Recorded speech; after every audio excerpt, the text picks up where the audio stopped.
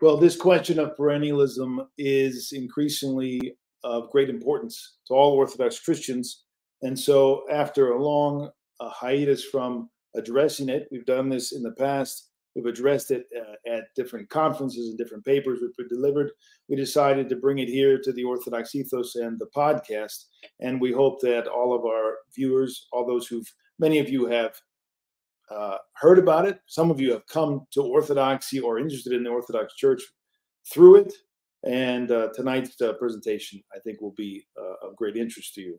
Uh, we, uh, as always, have prepared a PDF for you, and we're going to present that tonight. And that'll be available to all of the viewers who are members, whether through our Patreon page or orthodoxethos.com or our YouTube channel or or the uh, Instagram uh, membership. Uh, those four places, all of those will have access to this PDF once it is is uploaded. So if you like and you're interested in, in, what you read and see tonight, you'll be able to access that uh, in the next few days. So let's jump right into it.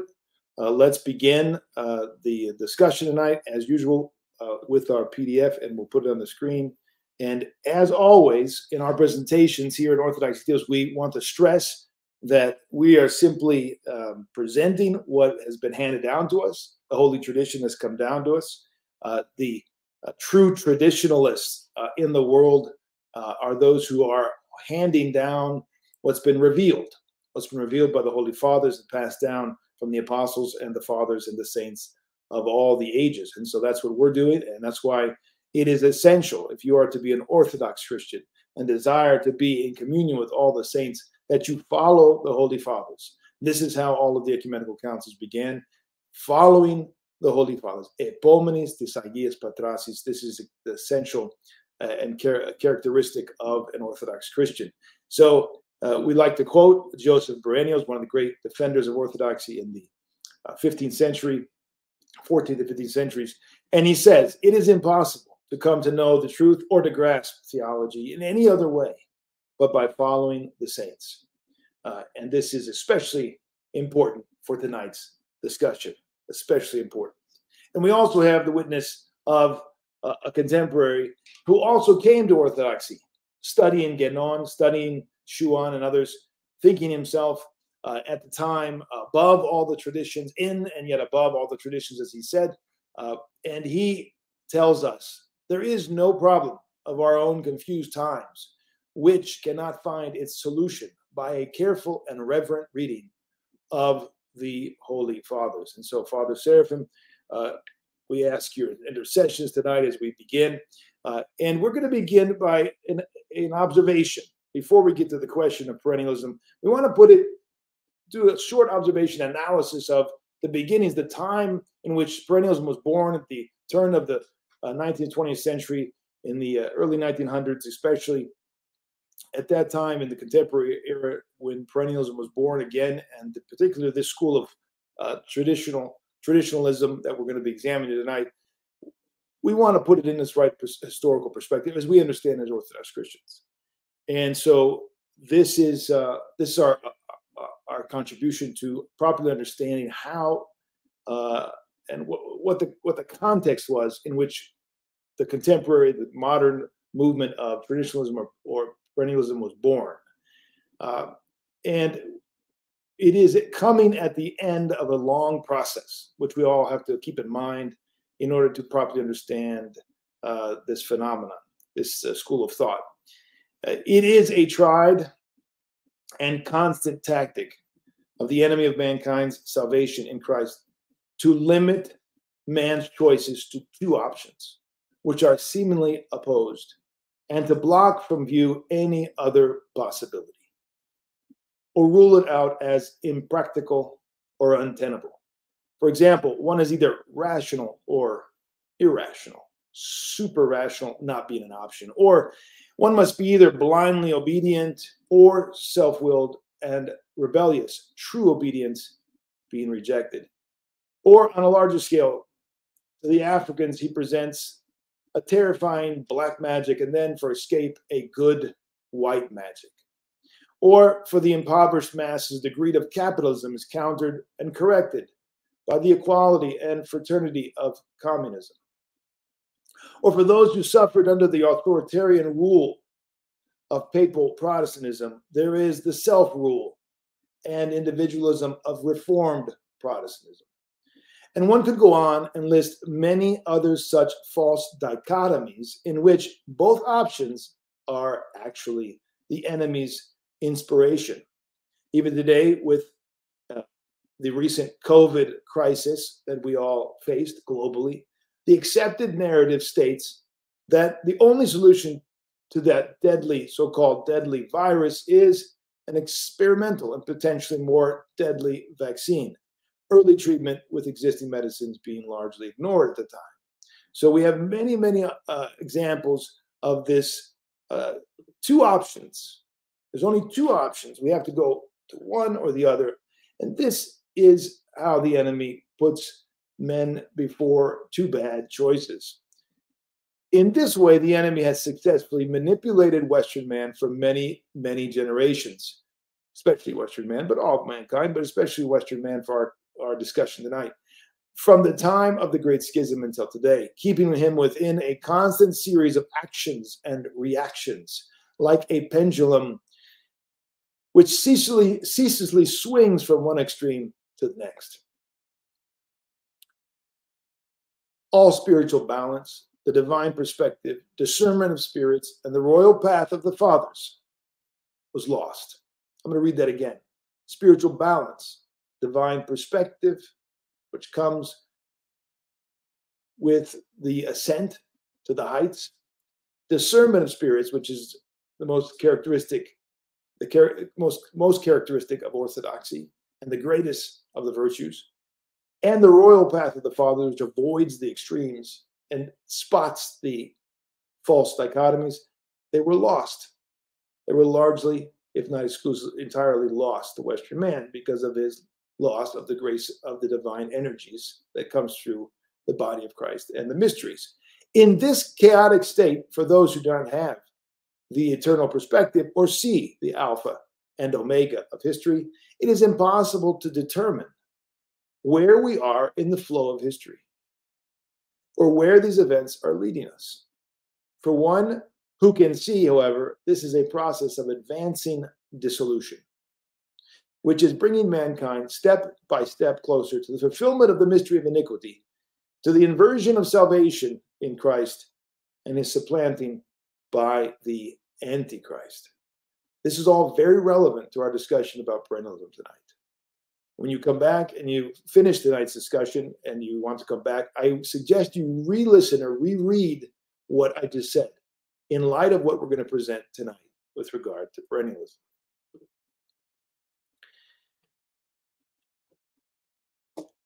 That this, is this dissolution of Christian tradition and unity in the West and the resultant caricature of Christ and his church in Reformed, especially Reformed Protestantism, but also papal.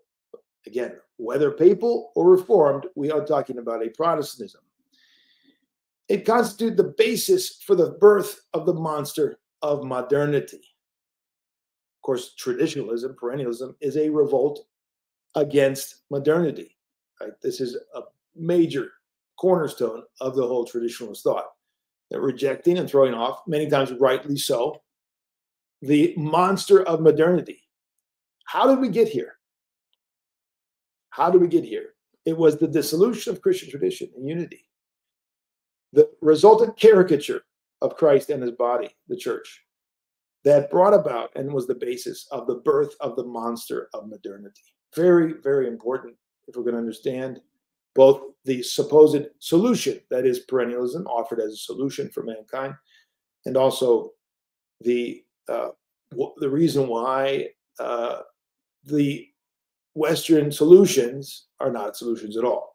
By the end of the 19th century, the more robust minds in the West were searching, which were searching for a way out of the dead end of the modern secular West. Right. This is this is the milieu milieu of the early 1900s and from which perennialism was born. Right. They were searching for a way out of the dead end of the modern secular West. They looked to the tradition in the East, but alas, not to the Orthodox East, but to the Far East.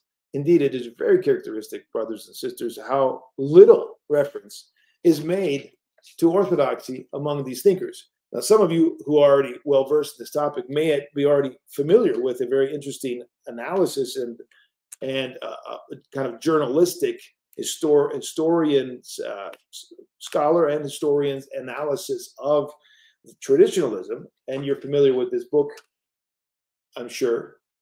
Let's see if we can get it in there. Against the Modern World Traditionalism and the Secret Intellectual History of the 20th Century by Mark Sedgwick.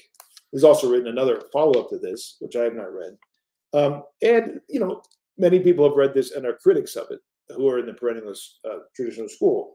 But in any case, uh, he does present the historical uh, uh context uh, pretty well with a lot of interesting details about the, those who uh, were at the epicenter. And this is what we saw. What we see historically is that these we these were Uh, men searching for a way out, and yet you almost never encounter mention of orthodoxy in any real substantive way. And so it is a great tragedy that they were searching for a way out of the dead end of the Western secular reality, and they went to the East, but not to the Orthodox East. These traditionalists thought to save the West from collapse by means of injecting Oriental tradition and metaphysics as expressions of the perennial philosophy or the Sophia perennis. The juxtaposition of the straw man of modernist normal normalist Christianity, a la Protestantism, with the traditional cultures of the East, is yet another example of the enemy's long list of false dichotomies which serve to keep man from communing with the truth incarnate. This is essential to understand. That's why it's in bold here. This is what again is presented. Oh, you must choose between the Catholicism that Rene Guénon rejected, or the Protestantism that Schuon and others rejected. And you must go from there, and the only other choice is the Far East and the tradition, quote unquote, and the metaphysics that they found in the Far East. Yet, unlike the previous extremes on the pendulum, which served to confine and manipulate the headless fragmented West. Right? The previous extremes going back centuries upon centuries in the West, unlike the previous extremes on this pendulum, swinging and like a wrecking ball in the West for centuries, resulting in the French Revolution, resulting in the Enlightenment, resulting in materialism, right? One by one by one, destroying the unity the continuity of holy tradition, whatever remained after the departure, unfortunately, of the Pope from the union and unity of the church in the 11th century, step by step dissolving. And so we arrive today at the, uh, as it were, the end of history. We're looking forward toward the ascent of Antichrist, uh, and many signs telling us that it's not far. So, unlike the previous extremes on the pendulum, which serve to confine and manipulate a headless, fragmented West, headless, capital H. Perennialism promises to bring an end to the extremes and to provide the final universal answer to the problem of divisions, providing a unity, quote unquote, which is found at once both beyond all revelations and through them. Let me repeat that. Very important. Perennialism promises to do what? To bring an end to the extremes that have been created in the West, to provide the final universal answer. Universalism, is perennialism is kind of universalism, right? So the final answer, the universal answer to the problem of divisions, we have the answer. The divisions on one level, they remain, but they're only external. We have the internal unity, the esoteric unity of all religions. And it, it's supposedly providing a unity which is found at once both beyond all revelations, all traditions. Father Seraphim Rose said before he became Orthodox, I was above all traditions. I didn't, I wasn't limited because I knew I was initiated and through them, right? So they become conduits exoterically, but esoterically, we have a unity that basically surpasses their limitations on the exoteric level. So, what is this perennialism? What is this perennialism? Let's dial, let's step back now and let's look at this perennialism. It's very important, very important in the modern age, much underrated. I agree with Mark Sedgwick, Sedgwick, I think that's how we say his name, that it's it's the secret or the not the secret history because that sounds like it's some kind of conspiracy theory. It's the disregarded, under, not understood, not readily apparent to the worldly uh, uh, materialist uh, West, but it's there, and it's going to provide again, once again, the supposed solution to the dissolution. Right? It's going to give us the unity that supposedly humanity is really has. It's all there. We just need to uncover it. So that's all. You know, to the to the uh, uh, uh, the let's say how can I say this? The Western man who has lost all spiritual insight, he doesn't see it, but it's there. So what is this perennialism? Generally understood and referenced, perennialism is the idea that at the core of all the great religions is found the same mystical experience of ultimate reality.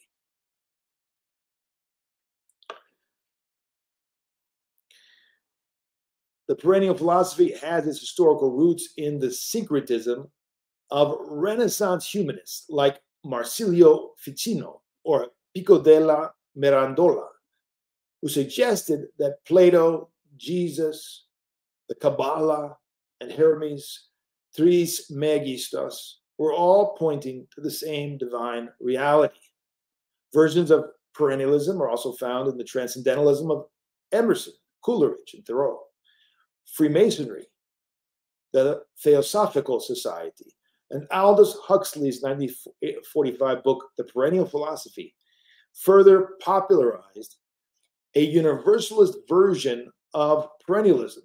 And in the 1960s, it became a cornerstone idea of the new age. All right, so that is a very brief introduction to the general idea of perennialism. But we're not going to talk about that general idea. We're going to, we want to talk about in particular what came in the wake of the work of Rene Guénon and also then carried on to a certain degree with Fritjof Schuon, although some say Guénon was not a real perennialist, at least not a perennialist like Schuon it's not really of interest to us. We we we can debate that, but he definitely had a perennialism in his thought, uh, and certainly Schuon uh, uh, developed that quite a bit. What is of particular interest for us is the development of perennialism in the 20th century, in particular as it was presented through the Vedanta inspired traditionalist school, especially by Rene Guénon who likely met perennialism during his years in the Masonic Lodge. We mentioned earlier that he left Catholicism, he left it for Masonry. In 1912, Guénon, searching outside of his local French Catholic milieu, received his sixth and final initiation in the regular Masonic Lodge, Thebah. He was introduced to this lodge by Oswald Wirth, a central figure in the history of Masonic traditionalism. You see Guénon in his later years on the left. The thumbnail of this uh, live stream had him in his younger years. Here he is in his older years when he was meeting people like Guénon and, uh, and others like Martin Lings and, uh, uh and others.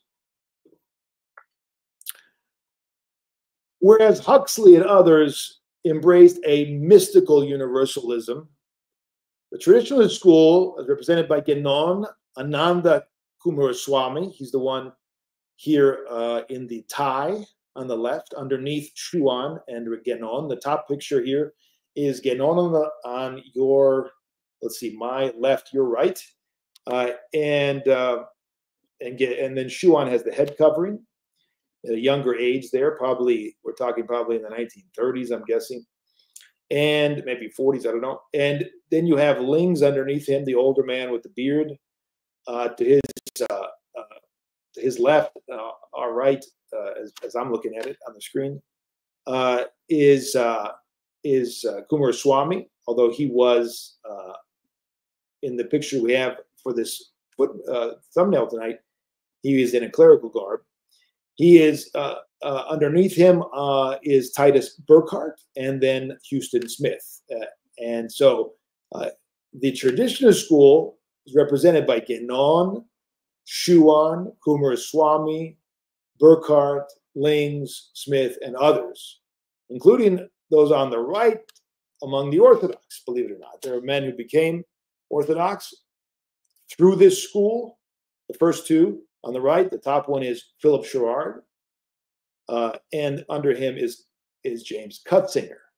Uh, and there's a whole discussion about that we're not going to have tonight about Sherrard's perennialism and how much he rejected some of his earlier perennialist thoughts or not. But his last book, uh, and I'm getting ahead of myself here, his last book was certainly permeated by and certainly does embrace certain perennialist uh, philosophical ideas from Schuon and others, although he rejects others.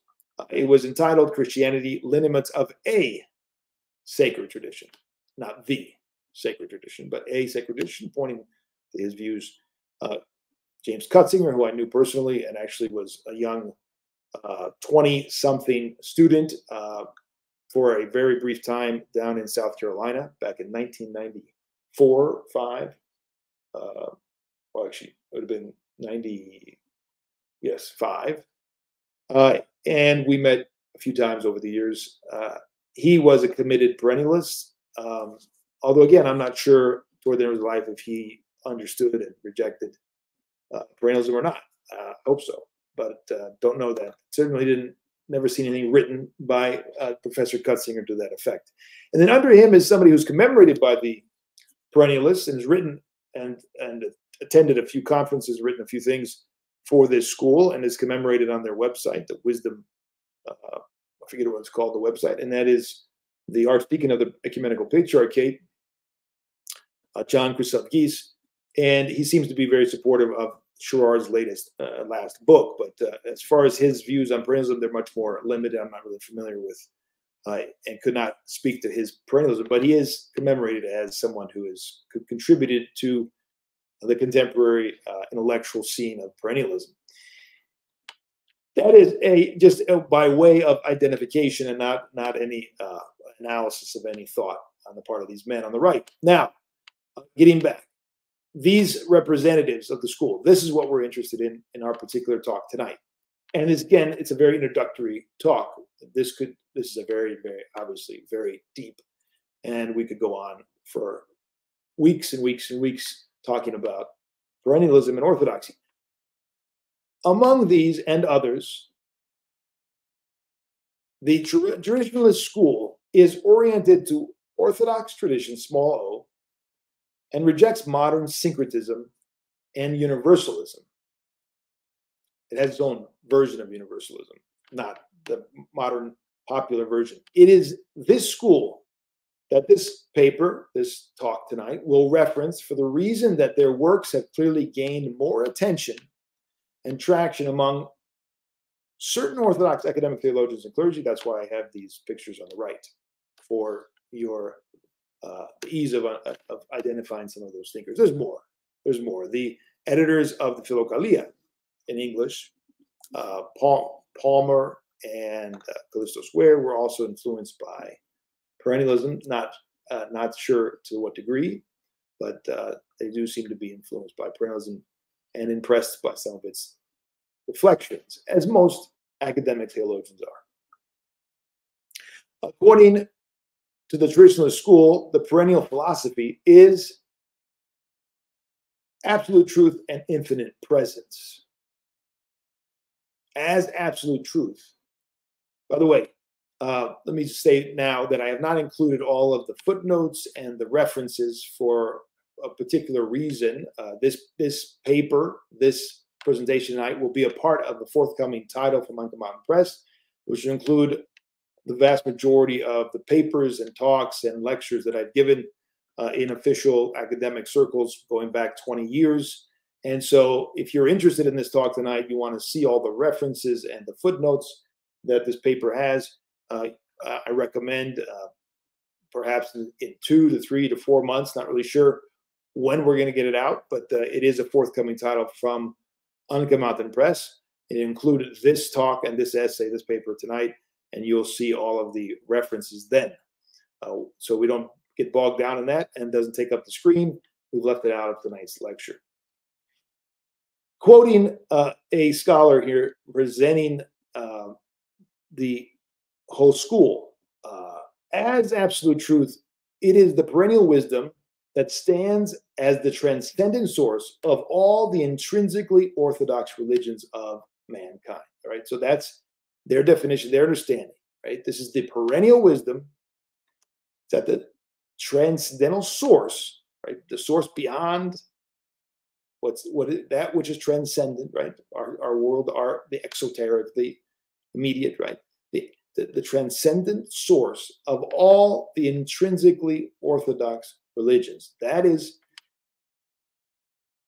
the perennial wisdom, right? Absolute truth. It is as a truth. It is the perennial wisdom, right? So as infinite presence now, it is the perennial religion that lives within the heart of all intrinsically orthodox religions.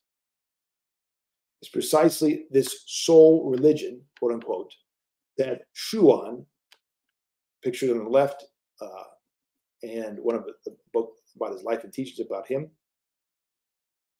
has called the underlying religion, or the religion of the heart, which is the heart of all religion, and which is of an essentially supra-formal, universal, or spiritual nature. In other words, the underlying religion, quote unquote, remains transcendent vis a vis the religions, even while being a vivifying presence within them. Not we're basically unpacking what we've already said in their language, using their uh, analysis, their, their expressions.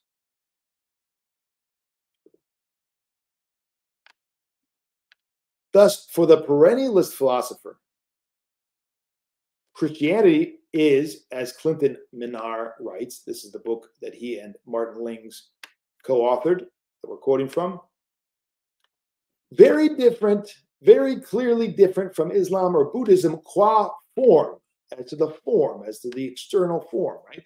But it is one with them qua essence or qua perennial philosophy, as to as to the essence, as to the perennial philosophy. It is one with them, but very different in form. Okay, this kind of states what we've already pretty obvious, but this is essential cornerstone to the to the perennialism, especially what we're interested in, in terms of perennialism. This is what we're interested. In. What what this is what is going to be uh, of great interest going forward for many people, and it already is. It should be immediately apparent what potential this understanding of the religions holds out for the unity of mankind, the quote unquote unity of mankind, but also for the lot of those who will reject this unity and insist on remaining with the unadulterated incarnate Christ. But here I am getting ahead of myself. Let me just. Uh, one second a little bit light. There we go. So it's very important that we understand the perennialist vision of things so we can spot it and discern it as being promoted even among some in the church. It can perhaps be better understood through a diagram. And this is the diagram that we're going to examine here. Picture the image of a circle with the absolute at the center, the esoteric domain, mysticism, gnosis, union. Right? several radii, radii flowing outward to the circumference. Its radii being various revelations of God. All right. So in the center, we have the absolute. You see revelation. It says there, revelation. These are various revelations coming out from the center of the absolute to the various religions. You have Christianity, Islam, Hinduism, Buddhism, Chinese tradition, primal tradition, Judaism. Uh, the, the thinkers within perennialism and traditional school have identified what they believe to be the authentic religious uh, traditions carrying the, these revelations. Again, not really sure, uh, you know, on what basis they determine the criteria to determine which are true and which are false. Uh, that varies uh, to a certain degree. In any case, they have said that these religions are authentic, carrying the revelations of God. And so we have these coming out from the absolute center, going toward the religions, to the exoteric domain, from the esoteric to the exoteric domain, right? With paths also returning to him from these traditions and religions, right? In whom they are transcendently united, right? So they're united in the absolute through the uh, revelations exoterically different, esoterically united.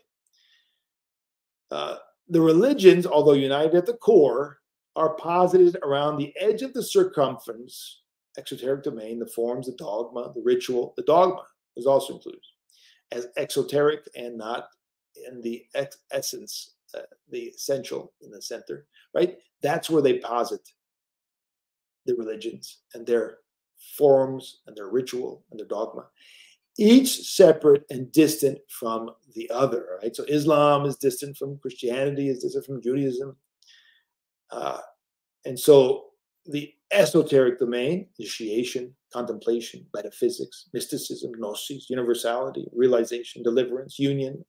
These things are the esoteric domain. The exoteric domain, forms, observance, piety, morality, dogma, ritual, exclusivism, salvation. Salvation. All right, so that is, uh, I think, very helpful, hopefully, right? From this diagram, one can see that central to the perennialist theory is the question of esotericism and exotericism in each religion. Perennialist doctrine teaches that each religion has a formal institutional aspect which is the respective religion's exoteric aspect, where they differ most profoundly, and each religion has an esoteric aspect, which exists in the spiritual methods of the religions, where they seem to draw closer together and may even reach a point of identity. We will examine this idea further on after first briefly presenting other aspects of the perennialist outlook. All right, so keep, keep that in mind as we go and look at some other parts of the perennialist outlook. The perennialist view of religion turns on the axiomatic notion of multiple and diverse revelations, which, quote, crystallize and, quote, actualize in different degrees, according to the case, a nucleus of certitudes, which abides forever in the divine omniscience. All right, let's read it again. It's pretty core to understand what is the perennialist view of religion? Well, it turns on this very important notion of multiple and diverse revelations, right? Multiple and diverse revelations. Right there on the page, there you see this uh, described. You have the contemplative forms uh, the top there, the experience of God, the absolute, right? Coming out and also going toward. You have the institutional forms. All right. So there are multiple and diverse revelations. It's not just one revelation. Jesus Christ right? There are multiple revelations to different in, in the different religions. These revelations crystallize and actualize in different degrees, according to the case, a nucleus of certitudes. So there's there's a, there's certitudes, there's the absolute, right? The that which we know for sure, and and it, and they are um, in differing degrees. They're they're actualized and crystallized uh, in the revelations. And these, this nucleus of certitudes, abides forever in the divine omniscience. All right. So, all of this for us as Orthodox begs the question. I'm cutting to the chase. There's a very large topic here, very extensive analysis one could make. I want to get to some certain points that we're going to make from Orthodox perspective. Begs the question what is the compelling reason that God wills multiple revelations of himself? Why? Why should we believe that? Why is that such a compelling thing? Why do we have to accept that? Which are manifestly divergent and apparently opposed. Right? Why would one God feel it necessary to have manifestly divergent and apparently opposed on a very on many levels most people believe that these things are opposed they're irreconcilable most people except the perennialists who are you know initiated into this great amazing knowledge that all the you know simple uh, human humanoids cannot grasp right the great thinkers the great initiates are telling us yes it appears to be externally opposed, apparently opposed, manifestly divergent. So, but but the question is why? Why would God do that? Right. So there has to be a reason, and there is a reason given by Fritjof Schuon, and that is that humanity's divisions require it. Right. So God is now required because of our divisions to do this. Our divisions, humanity's divisions, you know, which we would maybe in the biblical uh, narrative, we would point to Tower of Babel, to you know the effects of sin and uh, and the division of humanity, uh, and then languages, and then cultures, and then coming down to we have all uh, great divisions among all different kinds of cultures and, and, and peoples. And so he says humanity is divided into several distinct branches. Uh, I would say well, several, but even many more than just several, but okay, several distinct branches, each with its own peculiar traits, psychological or otherwise, which determine its receptivities to truth and shape its apprehension of reality.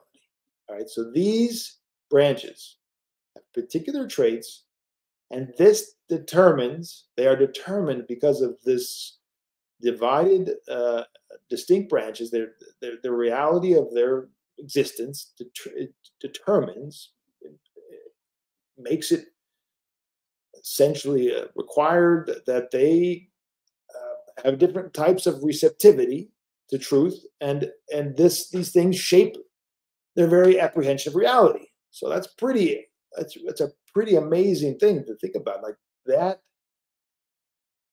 Uh, demands uh, the fruit of division, the fruit of all this demands God has to work within that and has to come down and, and has to appear in different ways, divergent, opposed, apparently, to different people to suit their needs. To these diverse branches, then, God addressed diverse revelations which were shaped by the peculiarities of each grouping of humanity, right? So very interesting. Very, very much not a Christian concept, by the way. this is not a Christian idea. Christians have not embraced this at all. In fact, we have something that totally opposes it, which we'll talk about in a minute. What determines what determines the differences among forms of truth in the difference among uh, what determines the differences among forms of truth is the difference among human receptacles.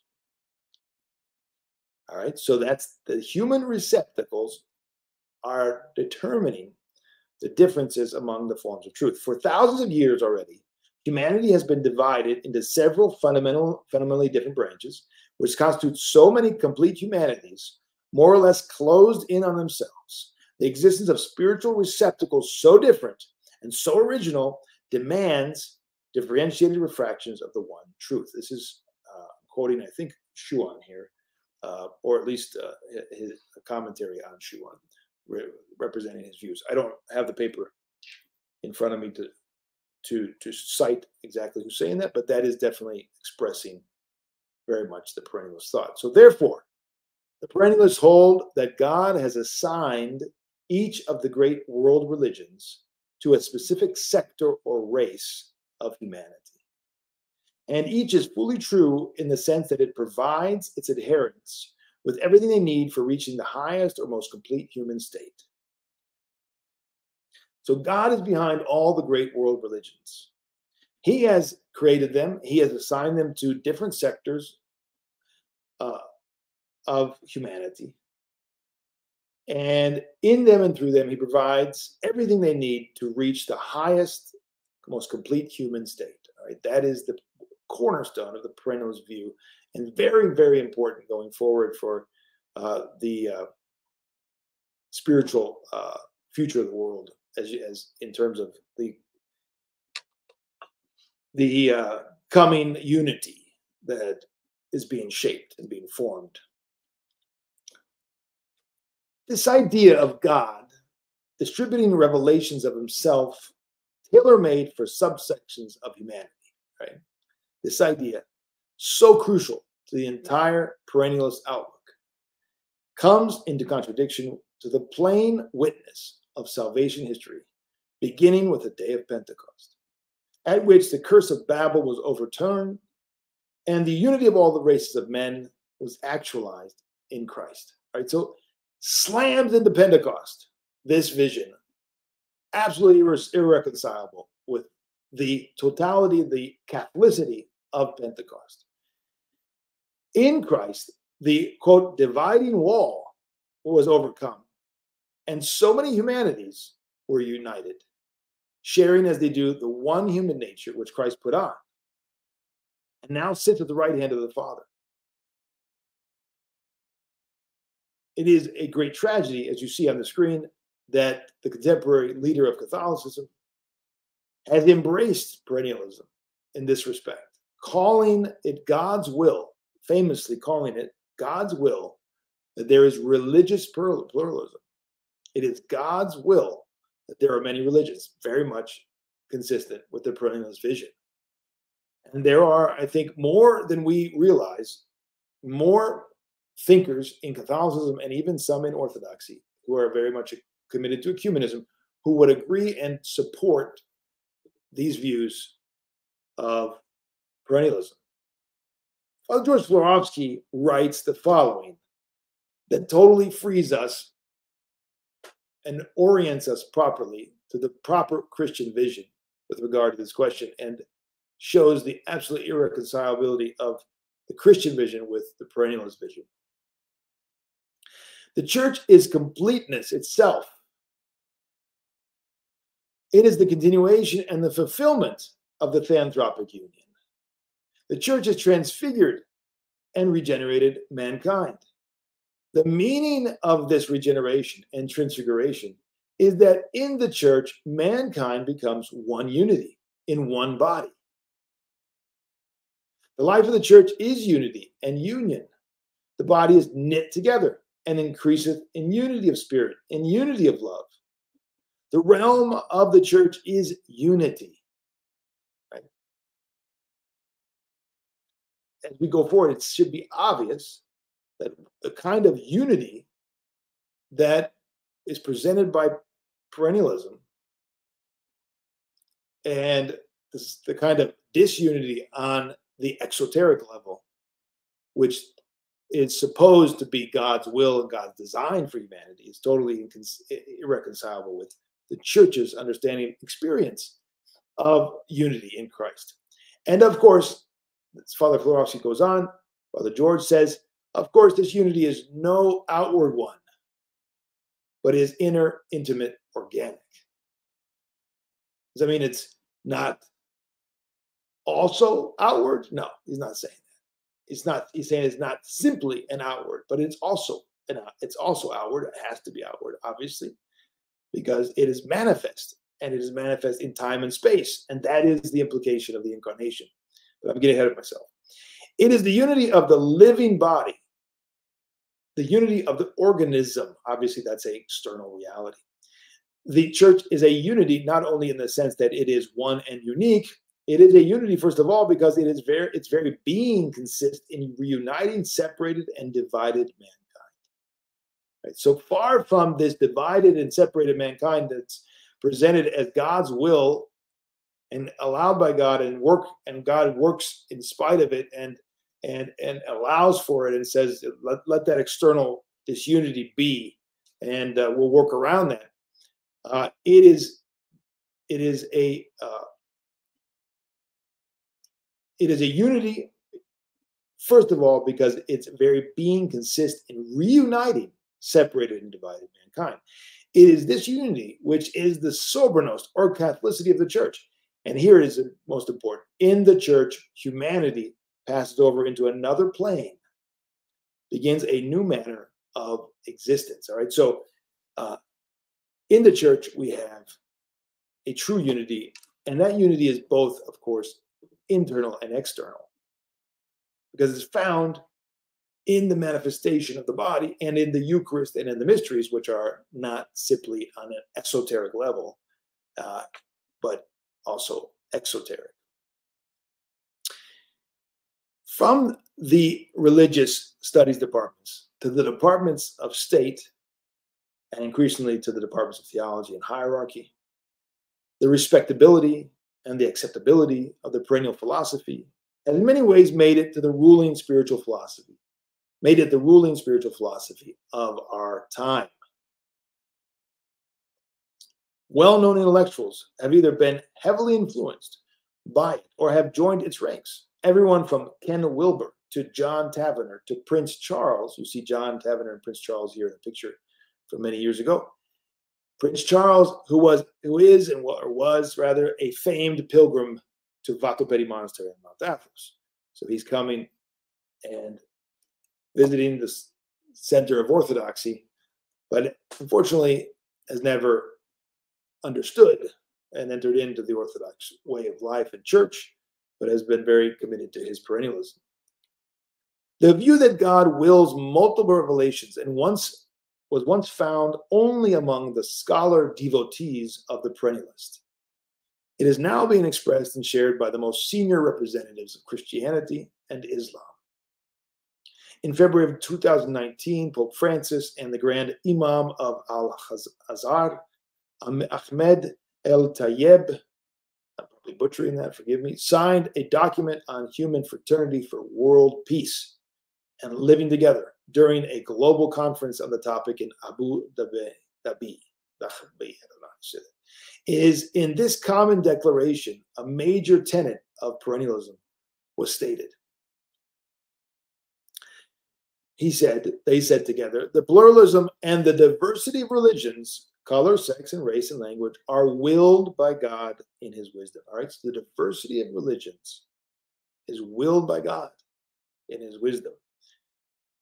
Very much, as we said earlier, consistent with perennialism. So this is what's happening, brothers and sisters, is moving far beyond uh, the refined and limited uh, discussion in the parlors and the salons of France and and uh, and Paris and uh, and uh, Italy and you know Cairo that we observed uh, in this intellectual history of back in the day of Guénon and Schuon. But now it's being Uh, as, as these things tend to do, they're trickling down to the, the more gross level of politicians and, and diplomats, including ecclesiastical diplomats.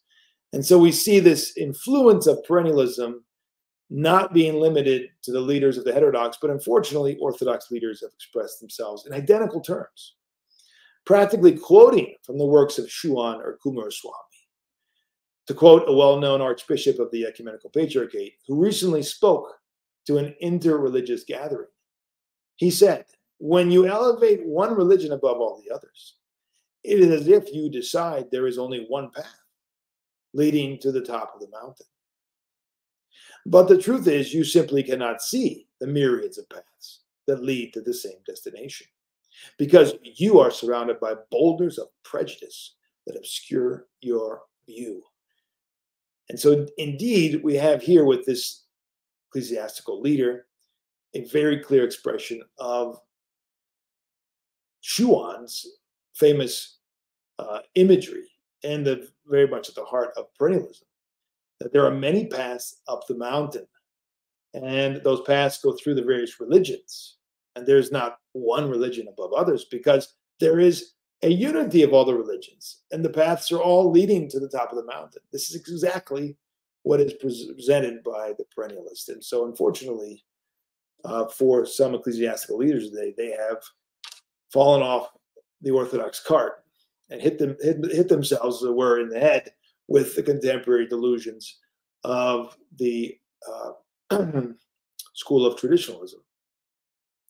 It is hard to conceive of a statement more in line with perennialism and the spirit of the age and more baseless and at odds with the phronema of the saints of God, the true initiates into the life of the Holy Trinity, than this comment we just quoted. The equality of religions and their esoteric unity and their salvific paths leading from the exoteric to the absolute. The hallmarks of perennialism are all here. Again, the equality of religions, their esoteric unity, their salvific paths. They're all here in this comment.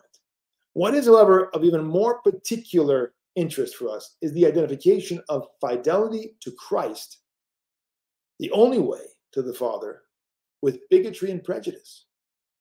So not only does he say, and the, the, the many say today, uh, well, there's this esoteric unity, you know, of course, and you know, are many paths up the mountain. But the fact that you would doubt that and oppose it means there's only one thing that could mean, and that you are a gross bigot. You are prejudiced. You are blinded by passions and arrogance, right? That's a very interesting message. It's not going to stay in the realm of the departments of religion but this is going to be applied uh, in the halls of government and uh, international law.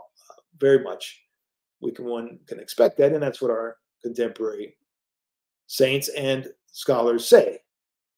They, this brings to mind the judgments of two well-known Orthodox apologists, Father John Romanides in response to the Balamand Agreement, and Father Daniel Sysoev and his prediction of the future of Orthodox mission and persecution. Let's start with Father John Romanides. What does he say regarding the Balamand Agreement? Now, the Balamand Agreement was this idea that we all have common, Orthodox and the Papal Protestants, the Roman Catholics, have common mysteries. And uh, and we already are united in the mysteries, and essentially we're uh, we're one church but divided. Okay, that was the Balamand Agreement. Of course, Father John Romanides in his ecclesiology being faithful to the Father says this is absurd, this is nonsense. Uh, you should go on and read it uh, for your own. If you've not read his response to the Balamand Agreement, it's worth your time. And he says, after, I'm paraphrasing here, after the Orthodox at Balamand fell into delusion and extended the full recognition of Latin sacraments, Father John perceptibly recognized that going forward, given this recognition, the only plausible explanation for the continual refusal by the Orthodox of intercommunion and concelebration would be bigotry. Right? You can't understand the minute you accept that there are common mysteries, common church. Why is there any opposition to unity? Why is there not immediate concelebration and immediate intercommunion? Well, it can't be for any theological dogmatic reason, right? can't be for any spiritual reason. It must be for political reasons. It must be for diplomatic reasons. It must be for because well, not everybody agrees, and uh, but certainly if it's Christ given and giving Himself in every mystery, and you recognize the mysteries happening there, not only here. Well, there is here. Christ is one in the mysteries, and now Christ is there and here. So we, we are one in Christ. And therefore, why oppose it? Well, you must be a bigot. What else is there? right? You must be a bigot. You've already uh, shown yourself to be a bigot. And that's exactly what this archbishop uh, implied, not just between Roman Catholics, Papal Protestants, and Orthodox, but indeed all the religions. So really, at the core, there's not much difference between what happened in Balamand and what is happening and happened in Dubai with the Pope and the Muslim leader. Even more insightful than Father John Romanides are the statements by Father Daniel, the new martyr, the great missionary. He has great missionary experience, and his experience in preaching and teaching the faith to, to many heterodox, including more than 80 Muslim converts, which were made through his work, led him to see clearly the nature of the approaching persecution. The challenge coming will not be for Christians to deny the divinity of Christ outright. Perennialism does not ask that. In fact, it supports the idea that Christ, the Logos, is working through Christ, the man, and such uh, heretical ideas. But it doesn't deny that uh, there is divinity. It's not going to ask the Christians. This spirit, this this uh, philosophy, this school of thought, it's not going to ask Christians to deny Christ. No. The demand will be rather for Christians to accept the non Christian religions as equally salvific path to the one God, of course. Don't deny Christ, but accept the religions as equally salvific paths. Otherwise, you are a bigot. And you know what we do with bigots, don't you? The Christians will be divided. The Christians, the Orthodox Christians, he says, will be divided here. And this is always a sign of the work of the enemy. He divides and conquers. The Christians will be divided. The fruit of this is divisions of Christians. Do we need, how many witnesses do we need to show that this is not of God, right?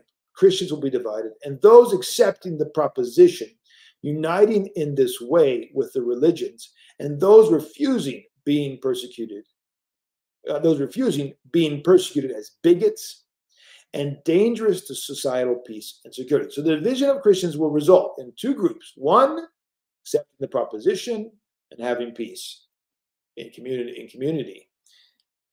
And in this way, they will be uniting with the religions. And then there'll be the other Christians, the, the so-called bigots, who will refuse this proposition. And they will be dangerous to society and societal unity going forward. So let's talk about and do and give a, a brief orthodox analysis of the perennialist vision that's coming down to us and is becoming more and more popular and and just absorbed just kind of just kind of breathed in by the populace right not because they're studying in the uh, yale or harvard or paris or cairo or anywhere but they're just it's now arriving at the level of the popular and the, uh, the you know vision and and there's variety of visions and variety of versions it's not so important, right? Uh, it's now uh, being being disseminated throughout the the world uh, on a very popular level.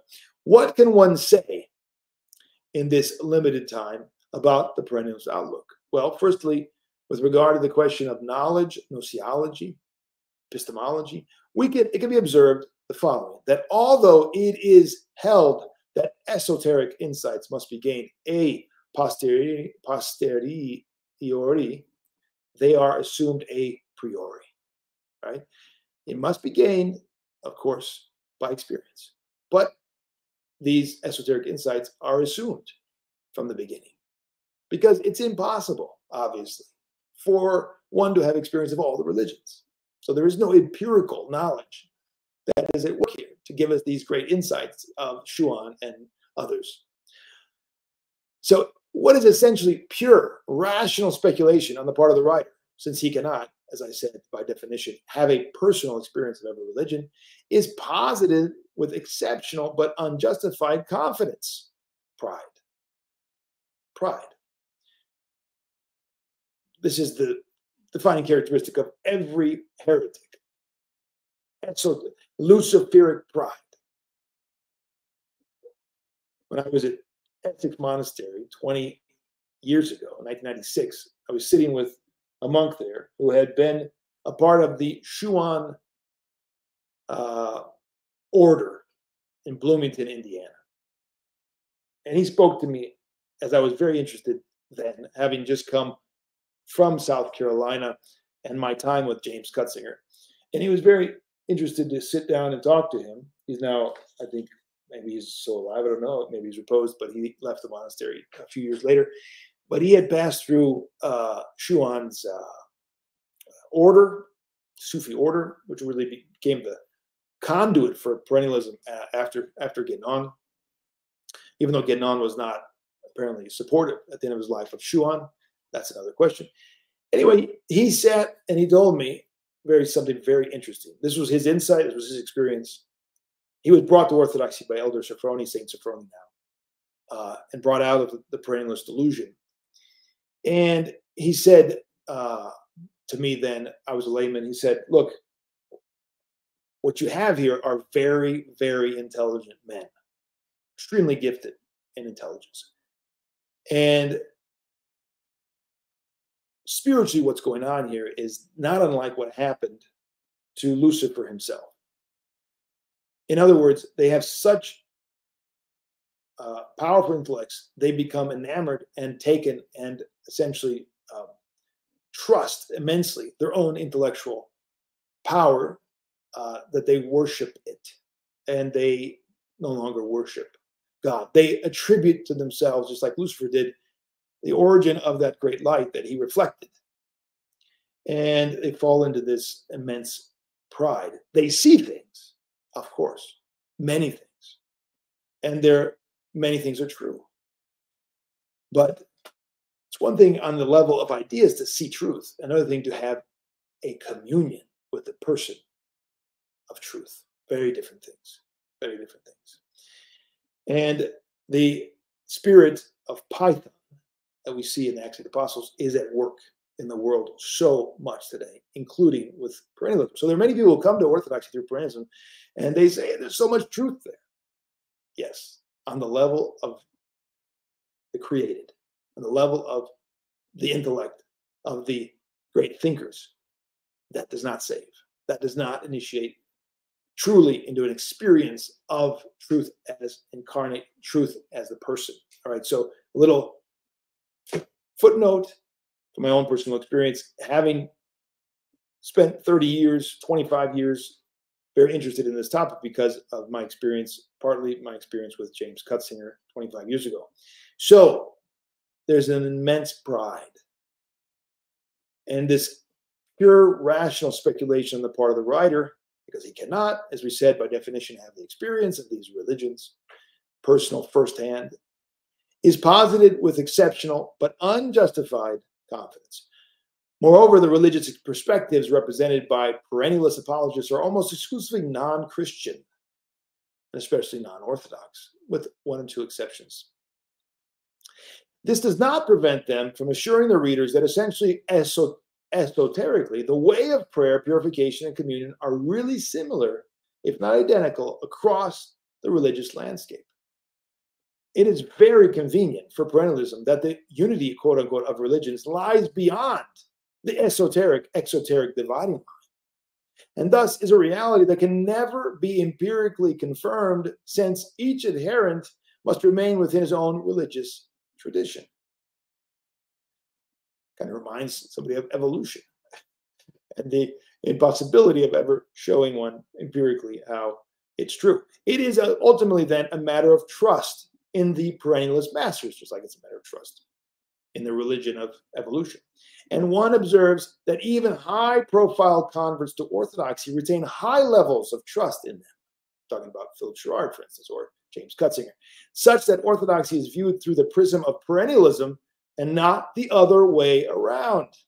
Unfortunately, this is what we observe. These converts, and there are not a few of them who've come to Orthodoxy through perennialism, cannot shake perennialism. And they remain trapped and limited, thinking that they're oftentimes still very advanced and still very informed by perennialism. And yet, that arrogance that is has to be there it's a part of the trust, right? And is what is obscuring their vision and obstructing their spiritual progress. So, this trust in the perennialist masters, for all of you who are coming from perennialism, you must shake it. You must kill it if you're going to have true trust in the incarnate Logos and his servants and his beloved. Now, we should ask is the sharp contrast between exoteric and esoteric even legitimate? Is that even legitimate from the Christian perspective, Orthodox Christian perspective? From the Orthodox Christian patristic tradition and experience of God, do we have any basis to make such a sharp distinction between the forms and the spirit? Orthodox realism does not allow us to separate the flesh the logos put on with the spirit the logos sent in which descends upon the forms of bread and wine to transform them into the body and blood, which sits now where? At the right hand of the Father. Let me repeat that. Orthodox realism does not allow us to separate the flesh the logos put on with the spirit the logos sent, and which descends upon the forms of bread and wine to transform them into the body and blood, which now sits at the right hand of the Father. Indeed, the transformation of these exoteric forms by the Spirit into life eternal takes place beyond the exoteric, esoteric dividing wall, where we, still in the flesh, ascend. Where is divine liturgy? Where is the Eucharist? It's in heaven. Where we ascend in the divine liturgy, beyond that dividing wall, that's where the transformation of these exoteric forms by the Spirit into life eternal take place. There's no division between the forms and the Spirit here. It is precisely this scandalous particularity of the incarnation and the eternal identity of the Logos with the flesh he assumed that is the stumbling block for the religions of the world and sets the body of Christ apart as heaven on earth and no religion at all. In the person of Christ, the esoteric absolute was made manifest in exoteric form. For he that has seen Christ has seen the Father. John 14, 9. And through him we have access by one Spirit unto the Father. Let me repeat that. In the person of Christ, the Logos Sarx Egeneto. In the person of Christ, the esoteric absolute, beyond the pale, that's what you know, remember the, the imagery of perennialism. The esoteric absolute was made manifest. Not, it's not lost beyond the clouds. It's made manifest in exoteric form. For he that hath seen Christ has seen the Father. And through him we have access by one Spirit unto the Father.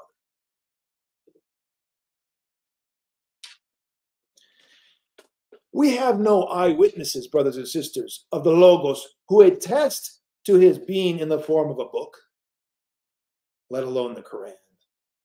But rather, he, being in the form of God, did not consider it robbery to be equal with God, but made himself of no reputation, taking the form of a bondservant and coming in the likeness of men. Contrary to the theories of the perennialists, the experience of the religion, of the religion, especially Islam, is not that of a kenotic God, who, being found in the appearance as a man, humbled himself and became obedient to the point of death, even the death of the cross. That is not the vision of any form of Islam. That is, we do not have a kenotic God in Islam. Contrary, likewise, to the perennialist idea of a limited, or any other religions for that matter, contrary, likewise, to the perennialist idea of a limited economy of salvation in Christ. A limited economy, right?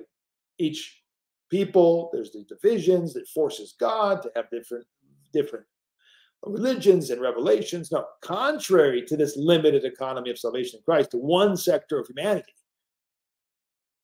and to limitation of the name of the incarnate Logos to the exoteric sphere, and even to only a portion of that sphere.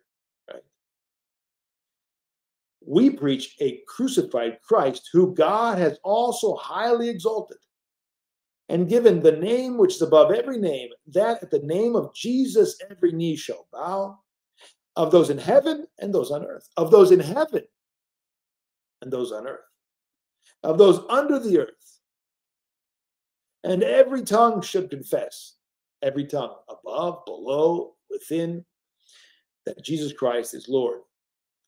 Sarx egeneto. Christ became, took on flesh. The Logos took on flesh.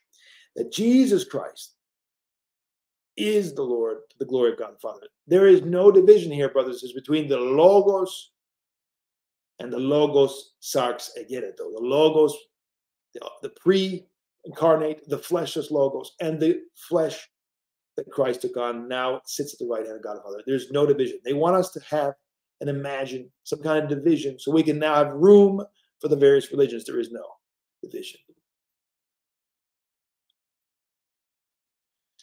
In Christ's body, the church, we have the unity of the earth and the heavens, of time and eternity, of the origin of revelation and the manifest truth, of the absolute and the finite. Since the Logos became and remained sarx, remained sarx, right? Flesh. The exoteric personal mode of God is at once the esoteric higher mode of God. This is so important. So important. if you want to avoid the coming delusion that will be fed us, uh, fed us and served up by the next stage of ecumenism, the final stage of ecumenism. If you want to avoid that and remain faithful, you've got to understand this right here. Since the Logos became and remained flesh, sarx, the exoteric personal mode of God is at once the esoteric higher mode of God, sitting at the right hand of God the Father. Since the Logos became flesh and the flesh put on Christ, the exoteric world ceased to be a qualified reality. The Logos became flesh and sits at the right hand of God the Logos, which became flesh, rather, and sits at the right hand of God, came and will come again to judge all men. That's who will come again to judge all men. The one with the wounds, the one who was pierced, the one who was crucified. He will come on the clouds and judge all men, not a portion of humanity, but all men, all religious men. He will be the judge of all men, and not just a sector of humanity not on the basis of an esoteric, mystical, hidden spiritual law, but on the basis of his commandments. They will be judged on the basis of his commandments, not on the basis of some esoteric, hidden spiritual law that is proposed within perennialism. And these commandments have been given for all men of all times to live by and in. We don't live by only, but we live in the commandments. The commandments are not created forms, but uncreated divine energies. The commandments are uncreated divine energies, and you have to live in them and by them, and you will be judged whether you have Christ, not I, but Christ who lives in me. That is the standard, not some esoteric, hidden, mystical, mystical law, uh, spiritual law. All right, why does the rise of perennialism signal the end of ecumenism? Why does the rise of perennialism signal the end of ecumenism? So by now, it should be apparent that with perennialism, we do not have ecumenism in the usual popular sense. For the unity of these philosophers speak, the unity these philosophers speak of exists only on the transcendental plane, right? The transcendent plane that of God, who is the transcendent unity of himself. Hence, they are not working towards a manifest unity in truth, like we see in the World Council of Churches, for instance, if we see that, if that's even lip service is paid.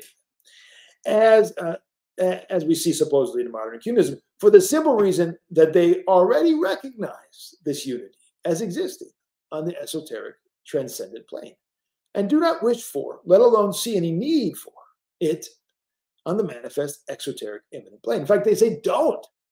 Don't try to, no syncretism, please. No unity on the exoteric plane. There's no need. That's nonsense, right? They they fight against that syncretism, which you know, rightfully we have to admit that they do not, they're not syncretists in that sense. The exoteric forms must remain uh, for each religion separate. And so there's no need for an exoteric, external, manifest unity for the perennialist. This is key. This is why the end of ecumenism, as we know it, is at the doors with the with the assumption and the promulgation of perennialism. Right? It's, that that whole model is done. It's over. People are going to say, "Whoa!" Oh, gonna, there's going to be a lot of very confused, even Orthodox Christians who say, "Well, that's this is ecumenism. This is not a threat to us. We, this is not an issue." We hear this all the time. Even Orthodox priests say, eh, "Ecumenism, WCC, it's old. It doesn't matter. It doesn't matter."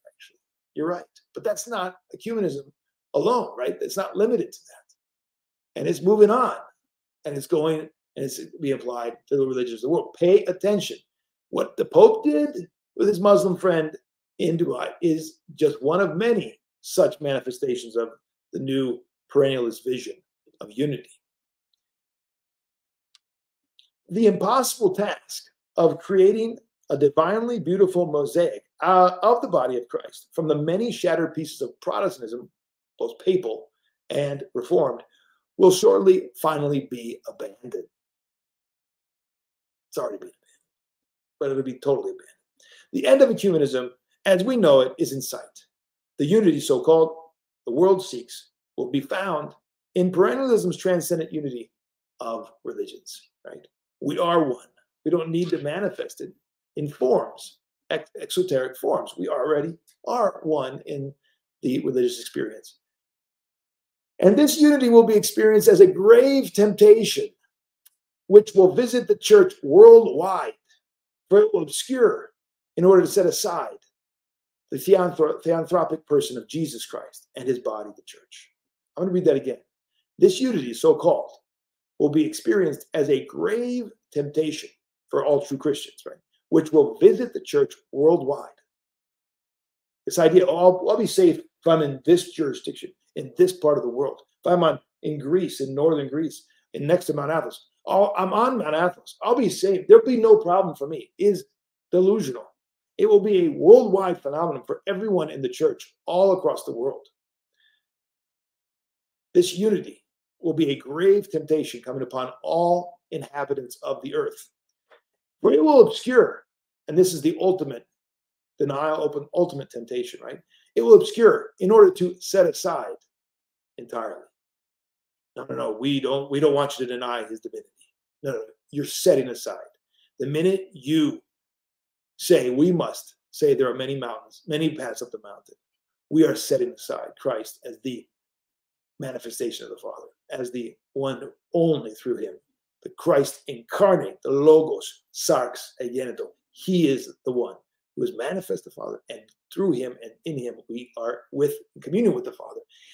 That is, if he's obscured, if he is obscured in a perennialist way, he is set aside and they're going to set aside the theanthropic person of Jesus Christ and his body, the church. This is also very essential. Why do we talk so much on this channel? And everybody who's struggling with Orthodox talks so much about ecclesiology because it's all about Christ. The body of Christ, the setting aside of the body of Christ, the uniqueness of the body of Christ, which is happened and is happening, has been happening for centuries in the West, such that they are totally defeated in this realm outside of orthodoxy, right? That is one and the same defeat of the theanthropic person and image of Jesus Christ. They're inseparable. Christ and his body are inseparable. They go together. So, obscuring the person of Christ, whether in his person in history or whether in the body of Christ in history, they are the same result, same grave temptation. This will be the last temptation of history. It has been prophesied by Christ himself in the book of Revelation. He says there, Thou hast kept the word of my patience. I will also keep thee from the hour of temptation, which shall come upon all the world to try them that dwell upon the earth. The Lord said this in Revelation 3:10 our great elder Athanas Mytilinaios tells us, because this temptation will affect the entire world, it will be, therefore, the great adulteration of faith in the theanthropic person of Christ. And perennialism, ecumenism in the form of perennialism, is going to bring this great temptation, is bringing it eh, already at the doors for many Orthodox Christians. And you see there are already hierarchs who've succumbed to it. Apocalyptic events are on the horizon. Of course, time we do not know. We never talk about days and hours. Only God knows that. But we can see the signs of the times. Just as the last generation of men will cry out for peace and security precisely due to their lacking it. And then the sword will fall. Men who are now crying out for unity. Indeed, universal unity precisely because they lack it. We'll find it in perennialism, which gives them this unity almost effortlessly. You don't have to do anything, you're already united. Without the cross, without crucifixion of the mind. Unity is already there. No crucifixion, no cross, no denial, no repentance. We already are unified. Like communism, which could not satisfy the longing of men due to its negative, repressive orientation, modernism's syncretistic ecumenism does not satisfy men's longing for a deeper, mystical unity of each man and mankind as a whole. It is not going to happen. It's going to be superseded. It is a matter of time. Mankind will demand a robust, traditional, and universally acceptable explanation, appealing to Orientals, right? The East has to buy it, right? That's why it's got to come from the East. It's got to have the whole of humanity buying into this. Mankind will demand a robust, traditional, we have a school of traditionalism here. We have the perennial tradition coming down to us. A traditional, not a modernist, not a newfangled, a traditional and universally acceptable explanation of how religion does not divide but unites mankind. We have to have that which is going to be very persuasive to those in the East and West, to the old and the new, to the old world and the new world. This is it. It's going to bridge those gaps. It's going to be this unity on this esoteric level. It's already there. Perennialism is poised to be the theoretical justification of many Christians, even quote unquote Orthodox, for the essential, if not transcendent and esoteric unity of religions under the Antichrist. I'm going to say that again. Perennialism is poised to be the theoretical justification of many Christians for the essential, if not transcendent and esoteric unity of religions under the Antichrist.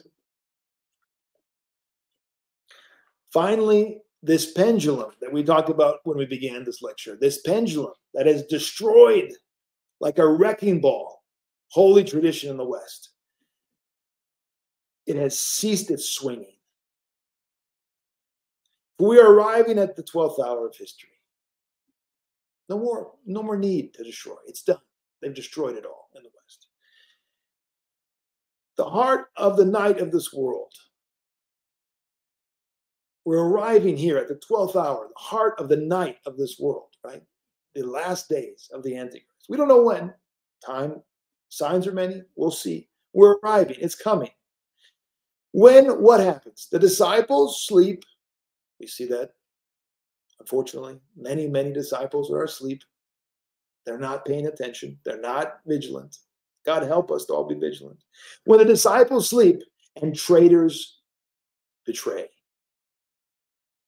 and the incarnate Christ, the crucified one, is set aside for a crossless Savior. We are arriving at this 12th hour of history, brothers and sisters. Traitors are betraying, disciples are sleeping. The incarnate Christ, Logos Sarx Egeneto, this one, the only one, the Logos that will come again to judge the living and the dead. The Logos is at the right hand of the Father, the Logos who has the marks in his hands.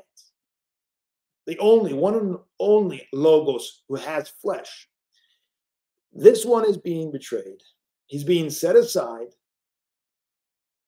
crucified one, right? No unity, no need to be crucified. No crucifixion necessary for this unity. The crucified one is being set aside for the crossless Savior. Who is the crossless Savior? Of course, the man of iniquity. Of course, the Antichrist. Hope you enjoyed and I hope it's been beneficial for you. This look from an Orthodox perspective at the whole question of perennialism. Obviously, we did not treat the entire topic. Obviously, we looked at what we wanted to look at. We wanted to get to the heart of the temptation that is presented by this particular form of perennialism, this, this school of thought, and their implications of what they're saying about who Christ is, what the church is, what the world is, where the religions are. And we believe this is where we're headed. God help us and save us in these days. And that is the end of our presentation. We'll open it up for questions. Happy to hear your questions.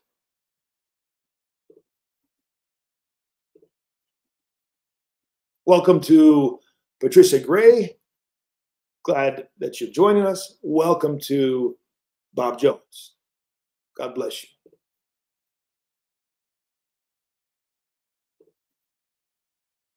First one I see here from DM. I want to tell everybody over there in Crowdcast.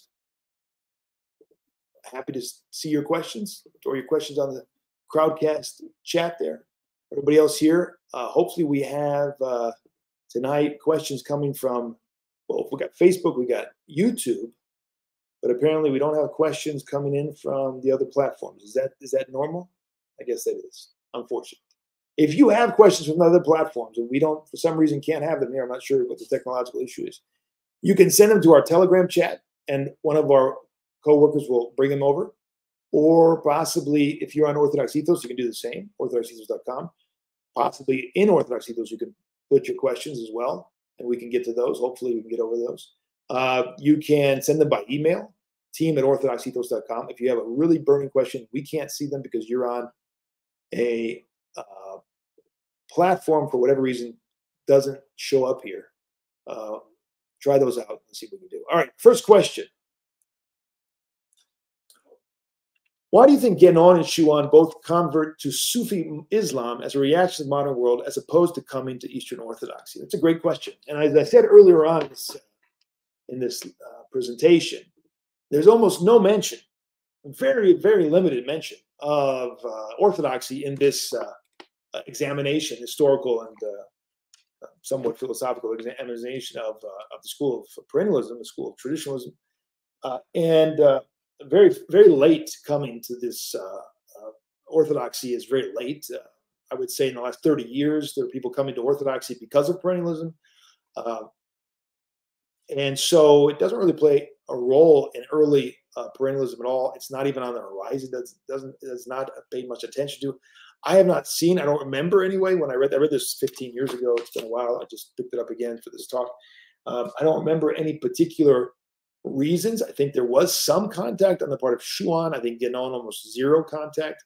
Guénon went from uh, growing up in French Catholicism. He actually married a devout uh, uh, Catholic, even though it's kind of interesting in here. They're talking about his early days, and it says, uh, um, let's see, uh, he was uh, using opium and hashish during his early days as a young man, 1910, 12 he married a devout Roman Catholic, um, and uh, I, I, do not remember what happens to her and how she deals with it. Uh, I don't know if they if their marriage lasts. I don't. I didn't pay attention, um, frankly. But uh, maybe she converted.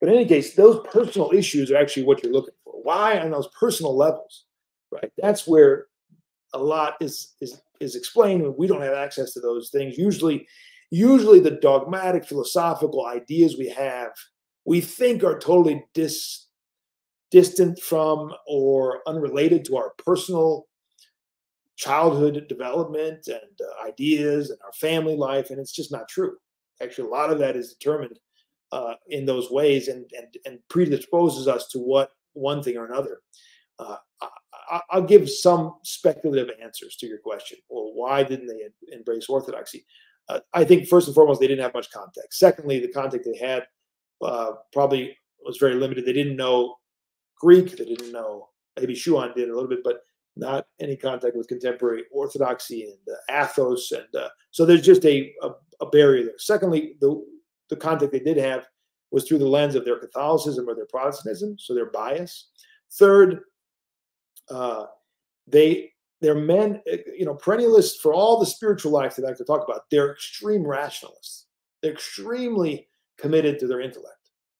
And of course, that's the problem uh, that they have, right? That they don't understand they need to crucify that to become truly and totally wise. Uh, and ultimately, they talk about that, but they don't actually get to the point of doing it because it can't happen outside of Christ. It can't happen to the degree it needs to happen unless we submit to Christ incarnate, right? So, so to become Orthodox, you have to, just like Paul says, I died. Like Father Seraphim says, I died to everything, right, to become Christian, to become Orthodox. You've got to die. You've got to totally die. And so, um, you know, I, obviously I understand perennially, no, no, no, no, that's all there. It's all within the tradition. No, that's on an intellectual level. In a real time and space, we're talking about the death of the old man. And that happens under spiritual guidance. It happens in the divine mysteries. And so those who are super, super intellectual are, are going to have a tough time embracing orthodoxy, just like the the uh, Pharisees and the intellectuals of the day had a tough time embracing uh, the religion of the twelve fishermen, right? So I think that's the basic answer: is that uh, it's not going to be easy. It's not going to be fashionable. It's not going to be rewarding. It's not going to be intellectually satisfying.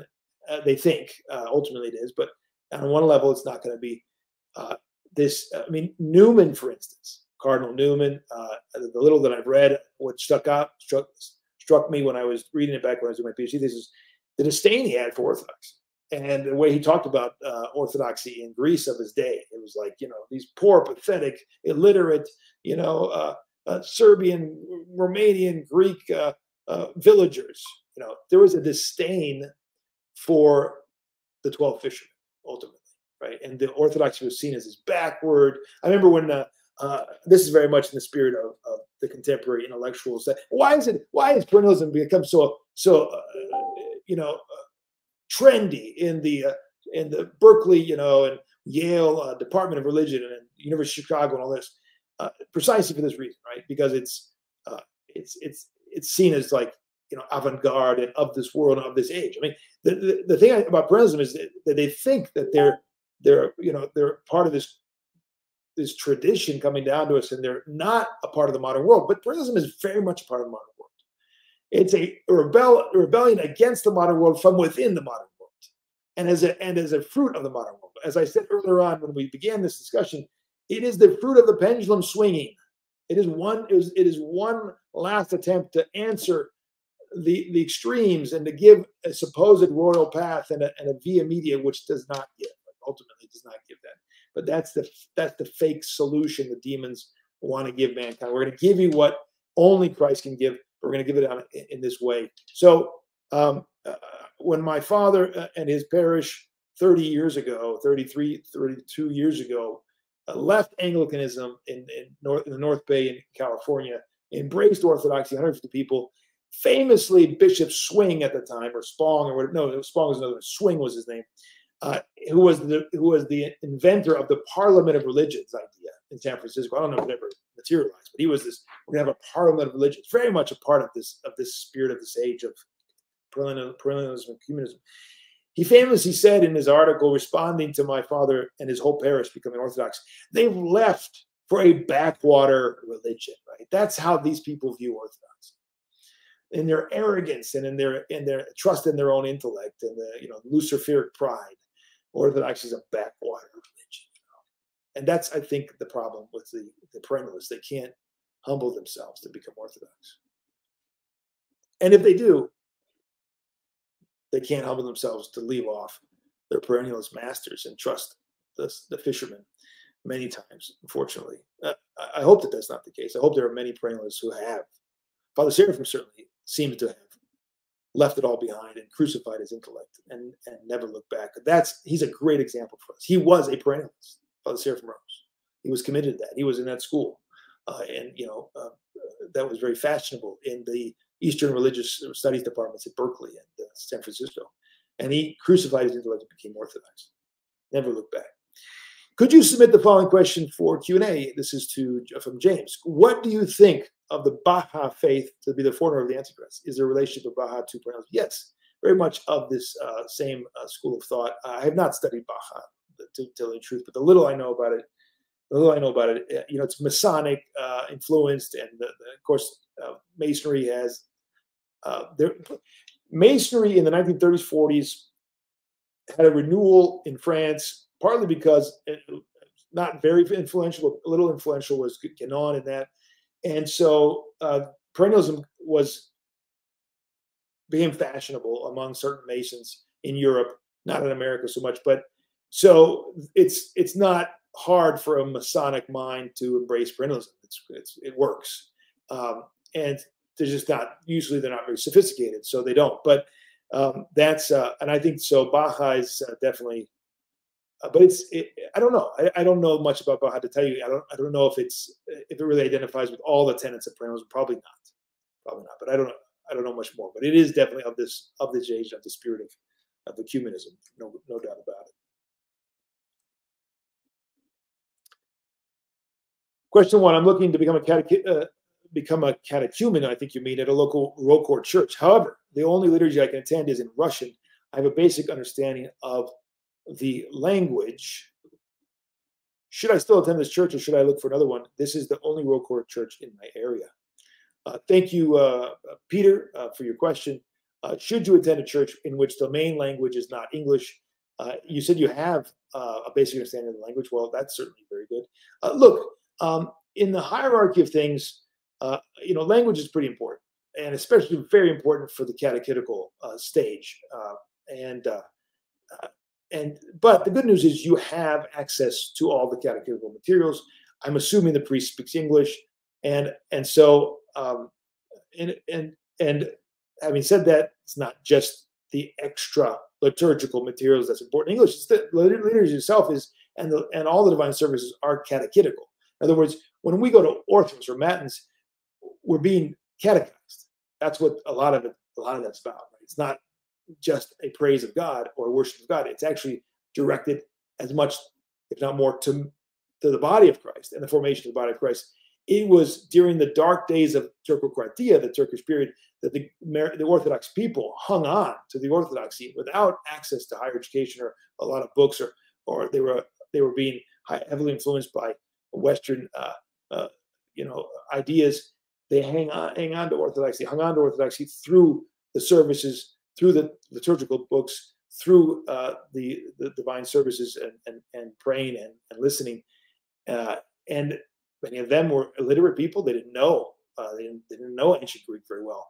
And that they went deep and they and they they carried on and they lived in a deep piety. So the answer is yes, stay there. The answer is it's the hierarchy of things is there's more fundamental and important than the language. If you found a parish where there is deep love, prayer, piety, uh, orthodoxy, uh, viomatica, uh, uh, experiential uh, orthodoxy, then you can you, you can remain and and the language, uh, especially if you say you have some access to language, you have some knowledge. But I would say stay, um, especially since you say basically there's nothing else to go to there. This is the only ROCOR area church in my area, so. Um, yes, we need absolutely to do catechism in English. Yes, we need to have services in English. Yes, it's obvious. These things are obvious. We don't need to discuss this anymore. But the reality is, we will have and continue to have many local parishes and monasteries that are not using the English language. What do we do? It doesn't doesn't mean we abandon the orthodoxy. It doesn't mean we can't go deep. We can. And so, if that's uh, your only option, that's what you should do. Then stick with it and go deep. Uh, that's what I would say. Your blessing, Father, could it be said that the perennialists confuse what God wills with what God permits? Um, I, that's a really good question um, in terms of can we examine how much among the perennialists, I have done this, have they understood the kat evdokian thelima to that is the, the will of God, and that is his good pleasure, that he wills, right? Pers- you know, par excellence, he wills, right? He wills salvation, he wills the incarnation, all this. And that which is kata parachorisi in Greek, that which he allows. I, I, would imagine that they've delved into this. I haven't read enough literature to see exactly what you know the various thinkers would have to say on that, but that would be very interesting to see if they've confused that. And that that that leads them to this idea that since, I mean, in particular about this question of, well, look at coming down to us, we have all these different cultures and, and languages and peculiarities among the peoples, and therefore God must, you know, basically bow to that, acquiesce to that, and therefore He, through the religions, works salvation. That seems that it could be a misunderstanding of His will with what He allows. I think there's some there could be a, a lack there, uh, but more fundamentally, I mean, did they never read Pentecost? Have they never understood the Christian understanding of the overcoming of the Tower of Babel? Do they not see that actually Christ, I mean, it's irreconcilable. They want to include Christianity among the religions. They want to reconcile it with religion. This is the most absurd aspect of perennialism. I mean, it's irreconcilable. The universality, the Catholicity, rather, uh, in terms of truth, in terms of experience of truth in this world, in time and space. It's that's in Christianity, the vision of that is totally irreconcilable with the idea uh, that is that is promoted in perennialism with regard to religions, and that Pentecost teaches us that in clearly that all the religion, all the languages, and all the peoples of the world are meant to receive the gospel. and the gospel has to be preached to all the people of the earth. There's no sense in Christianity that we're going to limit ourselves or we are limiting ourselves. And this is God's will that we not limit ourselves to a portion of humanity, a segment or sector of humanity. That's that is so contrary to the words of our Lord, to the life of the church, to the mission of the church for 2,000 years. So, how anyone, in my mind, how anyone could be a perennialist and an Orthodox Christian and not see that, this is irreconcilable, it, it, boggles the mind. And the only way that I think that that can happen is that they're perennialists that are Orthodox and not Orthodox who follow uh, or embrace perennialism. See, the hierarchy, the order of things is is is still first perennialism, second orthodoxy. Otherwise, it's I don't see how you could do it. I mean, just on the face of it, it's not hard to see. Uh, I'm sure they will say, Father Peter, you're so simplistic. Uh, Father Peter, you don't understand. You don't have the intellectual power to go deeper and see that the, all these things are united in the esoteric level. Esoteric level. Yeah, okay. That's that's their insane Luciferic pride that they think that they have that uh, you know, Gnostic knowledge. It's very interesting that he he started out in Gnosticism, right, and then he went to Masonry, and he never really. I'm talking about Guénon. Did he ever really cease to be a Gnostic? That's the question. I don't think so. I mean that uh, perennialism is very and, and is very reminds very much of Gnosticism in the ancient church. Is self transcendence an aspect of theosis, not in the perennialist or Eastern religious for vision of, of things? self transcendence. You have to unpack that. What do you mean self transcendence? Certainly, on one level, we can talk about that, but not in the. I don't think in the eastern, in the eastern, in other words, far eastern version of that. Uh, you say I'm having difficulty understand the sense of self in relation to our faith, Bradley. Um, the human person is in Christ totally and utterly valued and renewed and cleansed and purified and illumined and deified.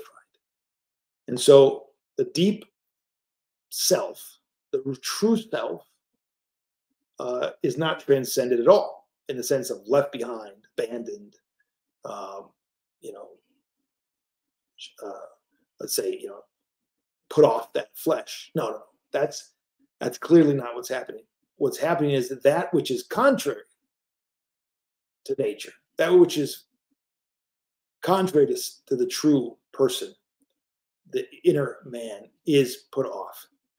And that's what's meant with the, the derogative sense of flesh, obviously, and the passions, right?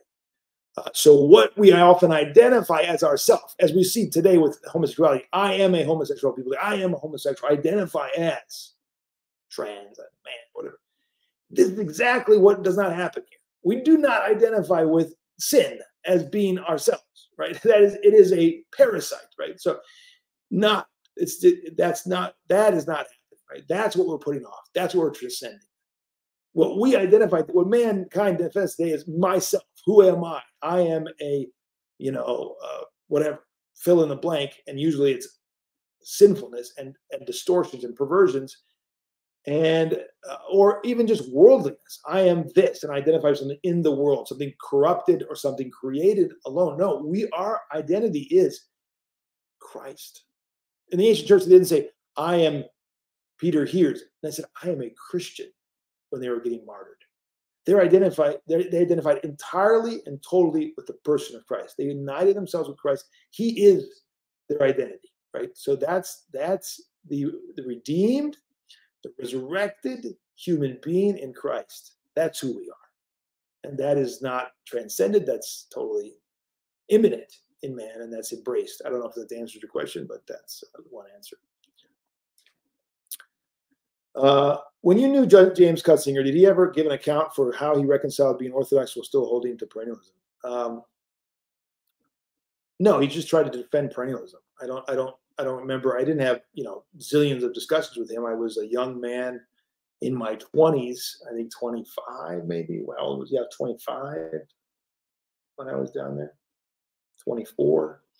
Uh, and then I saw him again a number of times throughout, uh, you know, my my life since then. He, here in Arizona when he was visiting the monastery on a couple of occasions, and up in uh, uh the monastery in, in St. Paisios uh, in uh, northern in north of here, and we had discussions about these theological topics. So I, I never got into you know full fledged how do I reconcile the two.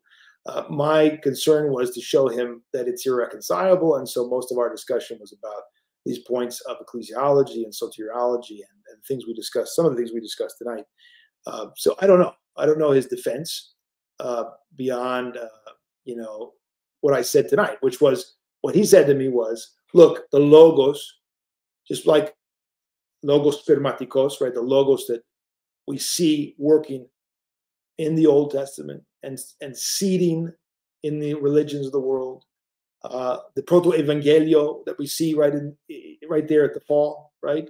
The first gospel that was that was preached that there there will come, you know, will bruise your head, right? And then all, all throughout, I've given two talks on this. You can go on orthodoxethos.com and look at um, the expectation of the nations. It's called two talks on in, among the nations, not just among the prophets, but among the nations. They were waiting for Christ. All right, so those those seeds were planted by our Lord, the logos, right?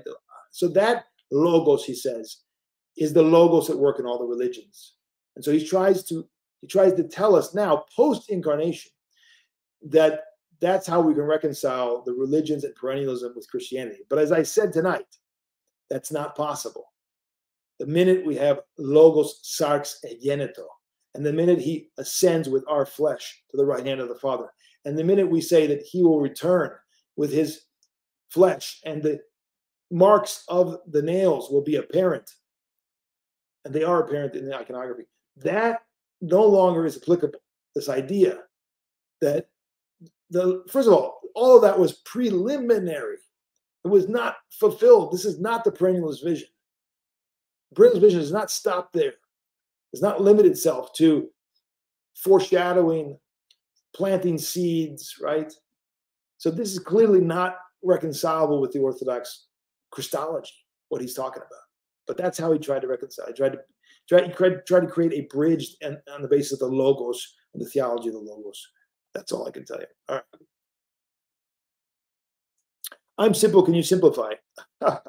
no, actually, I can't. Uh, that's not possible because perennialism is not that simple, right? I did my best. I gave some images. I gave some explanations, but I can't. I did just go back and, and, and look again, uh, uh, and hopefully some of the imagery and some of the descriptions will help you understand what's at stake. But um, sorry.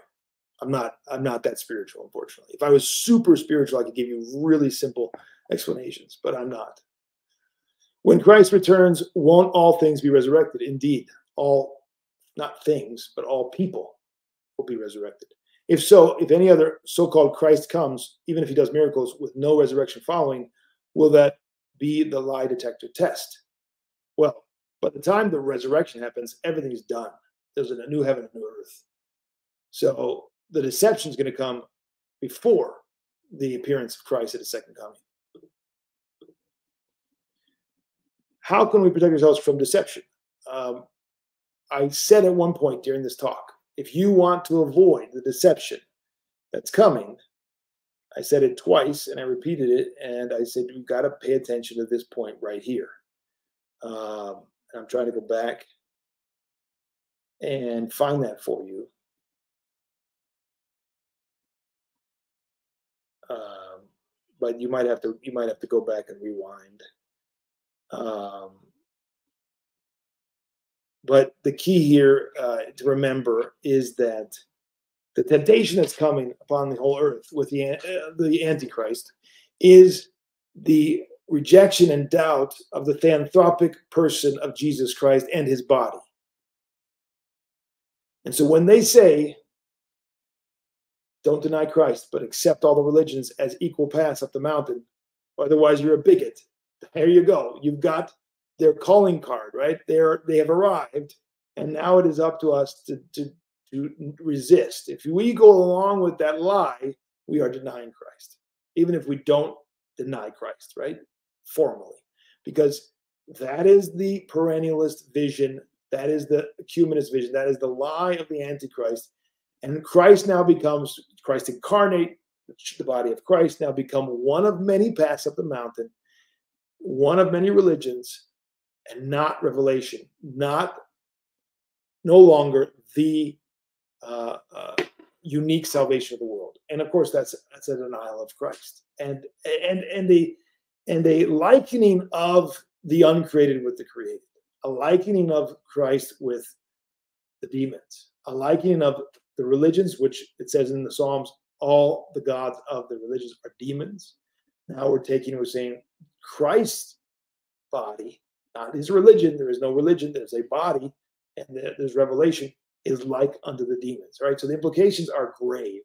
And so I would say that is when you see that, you know we're standing before the gravest temptation.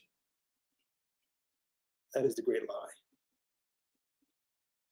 Father, can you elaborate on logos spermatikos in the context of perennialism? I just did. I just talked about that. Um, I believe Dr. Cutsinger called it upon it when explaining perennialism in his lectures. What is the Orthodox faith? I just did that. So I think I answered your question. If I did not answer your question, maybe you can be more specific. Uh, DM. Uh, but I think I just just talked about that. Somebody asked me what was his point. I explained what I thought his understanding was. I it's been years since I heard it. I probably should have sought it out and looked at it and then answered it directly. Maybe we can do that in a follow up. Um, but that's what I understand, and maybe there's some really interesting discussion there. I don't know, um, but I think I answered that. Christina Kit, thank you, Father. You bet. The most challenging part is to awaken our beloved ones. Is there a way to do that? Many of us have atheists in our families or people who say they believe, but they are asleep. Thank you for your question.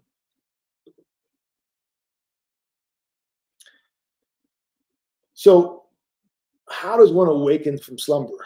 Um, there are many pedagogical tools that Christ uses. The most effective and least painful is the presence of holiness in one's life. So many awoke from sleep when they met a saint like Elder Ephraim. Thousands, hundreds, if not thousands of people awoke from sleep simply by sitting in the presence of a glorified, deified human being. They came to themselves and then they came to Christ in that order. And, uh, or together actually, because those are simultaneous. So that's that's the presence of holiness. How can they come into the presence of holiness? That's the key. Number one. Number two, because many have become so insensitized to holiness, or because they're far from it, many times the Lord allows for tragedy, allows for great challenge in order to bring about humility. And because pride is death to the soul and humility is life, God allows pedagogically for people to be humbled exceedingly. And so that is another possibility. And that's something you cannot obviously provoke and predict, but you can certainly pray for and be prepared for. Um, so those are the two basic like wings of this of this dove that is uh, to be awoken from sleep. Uh, and you might say, well, okay, fine. I don't know of any saints, and uh, uh tragedy hasn't struck. So what do we do? Well, uh, there is no other option but for you to become a saint and I to become a saint and, and to go deeper. So our repentance, our deepening is the best possible medicine for those around us. Not our Pharisaical preaching, not our uh, blind uh, uh, pressuring, which doesn't recognize the nature of what repentance is. Right? It doesn't bring doesn't bring about repentance. It brings about uh, uh, usually uh, anger and rejection. And when it, there is success in, in such a tech, such a methodology, it's it's because um, the person was already disposed, and in spite of our pride and arrogance and pressure, he comes or she comes to Christ. So never uh, is something good done in a bad way. All right. So the good of someone coming to Christ is not going to be, it's not going to come about because of our bad experience, our bad witness, our bad uh, and and and worldly and proud uh, words. And so there is no, there is no, uh, unlike sin, which is easy to fall into, virtue is hard to come by. There is no quick McDonald's version uh, that I can tell you, right? Okay, drive up uh, an order version, which is what people uh, uh, in America always want their spirituality to be about. That's what they're used to, right? So there is no, there's nothing. Uh, it is either we're drawn or we're or, or we're, we're brought down and then raised up again. That's how things uh, work spiritually. So monasteries, divine liturgy, everywhere there's holiness, that they need to come into contact with holiness. And and when when challenge comes they need to through your through your example in prayer face it and and come to self-knowledge. Those are the two ways i think mainly people come to christ. Is there a book or source that i can use to learn about the overall history of orthodox christianity jason's world? Uh, a book or source. Um, there's many books. Uh, there's many introductory books. You can find them online on Amazon uh, about the Orthodox Church, about faith and life.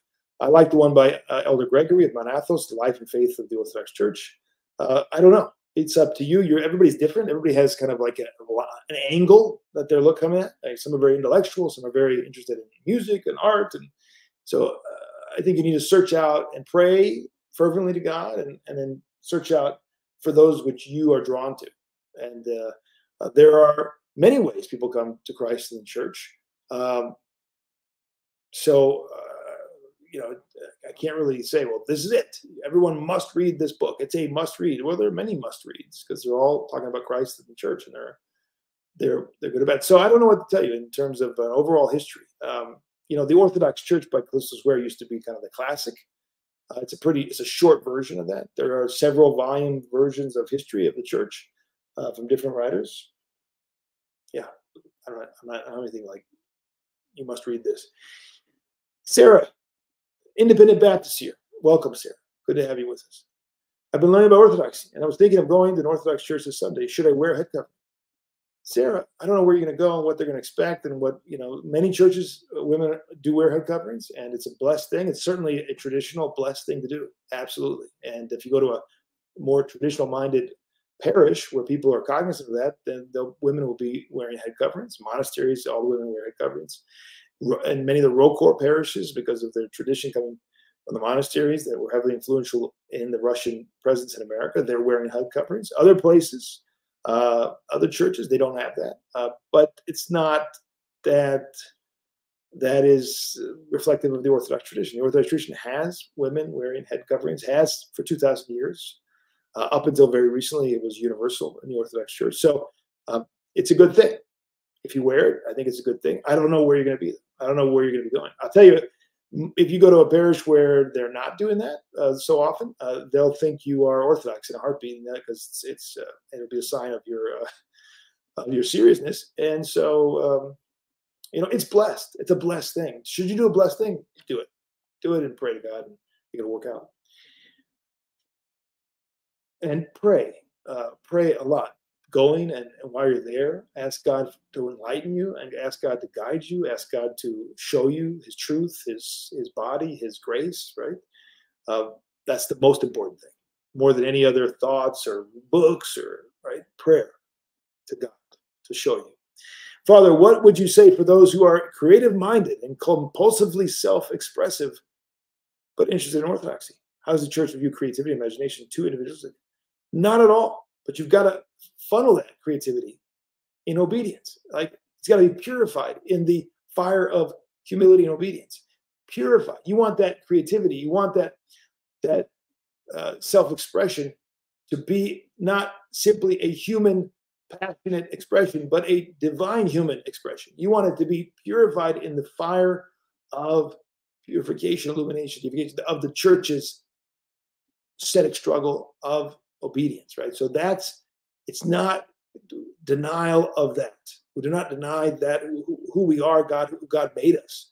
Uh, I mean, we have iconography, we have sacred chant, we have all kinds of things that are very much uh, expressions of human uh, ingenuity and beauty and creativity.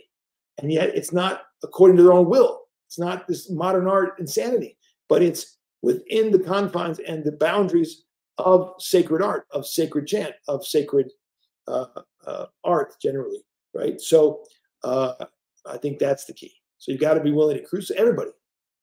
has to be willing to be crucified and crucify their intellect and accept and and be molded and fashioned anew. Uh, first in the baptismal font, and then in the ascetic struggle uh, over time. Uh, but that does not kill creativity. Far from it. Does not kill individual expression even. I mean, there are iconographers, they're very different from one from another, and yet they're all striving within the boundaries laid down by the Holy Fathers in terms of uh, sacred art. So there you go. I don't know what kind of art or what kind of expression you, you have, but that's a general rule I think applicable. Obviously, Bradley says we're all beings. But what is the self? Is even Christian as a concept, or are we simply spirits and flesh? So we are body and soul. We're not simply spirits in flesh, as if these two things are separate. Are we will be raised on the last day. The body will be raised. And we are not fully human without the body. And the self is, think that we point to the image and likeness, right? That's what we do in, in Orthodox theology. We talk about the image and likeness of God. We were created in the image and the likeness. We we lost the likeness when we sinned, and the image was obscured.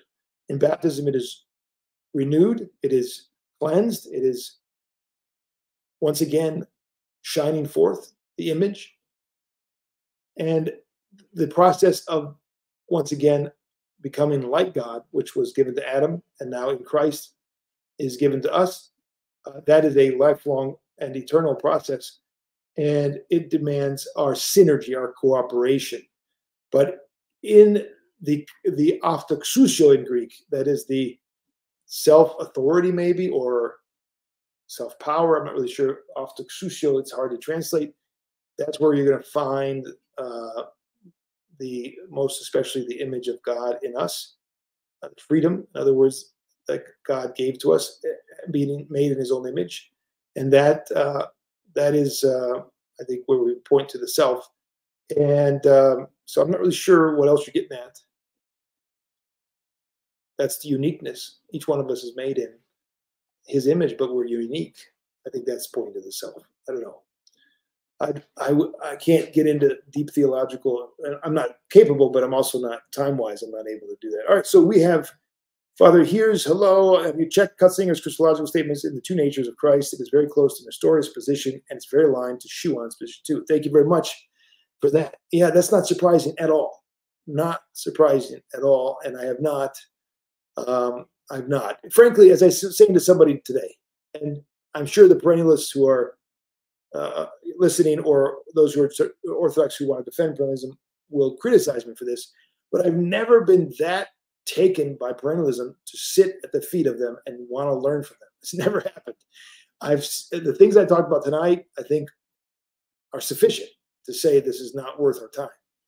Uh, now, you know, if I want to give a full, full, ref, uh, you know, rebuttal, then I should take the time and, and, get to know all the all the ins and outs. But I never had that desire, never felt it necessary. And I've always been astounded by those who think that this is something that the church should, you know, we should sit at the feet and, and become students of of these thinkers. I don't, I don't feel it at all.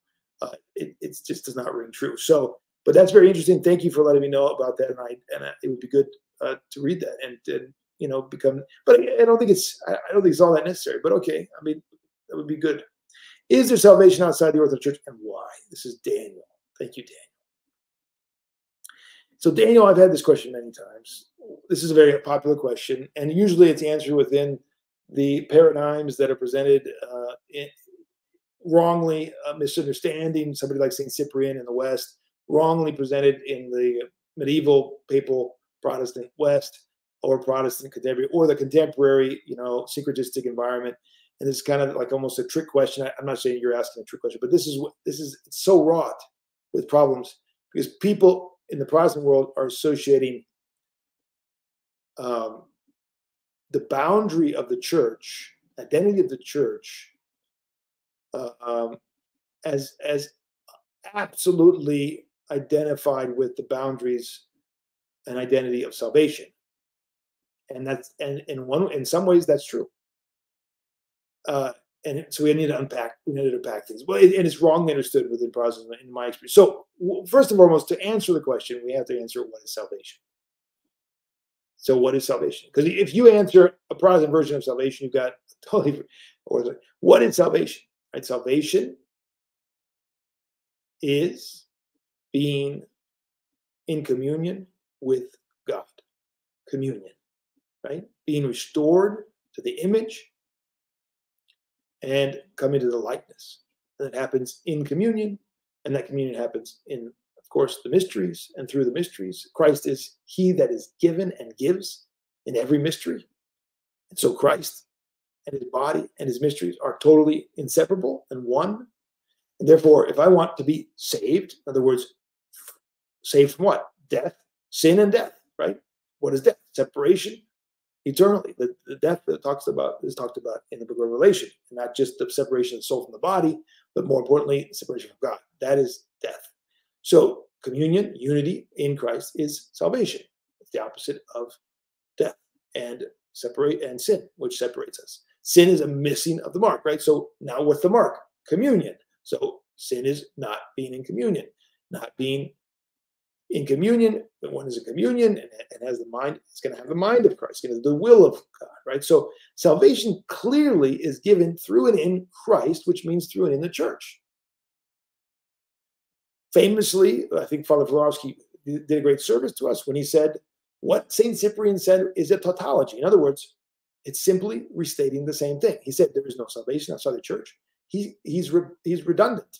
Salvation is the church right? That's that's what has been given to us. That's what has been revealed to us. That is what has been taught to us. There's no debate here. It's obvious that this is the case. And of course, the Orthodox Church is the body of Christ. So, end of discussion. Well, almost.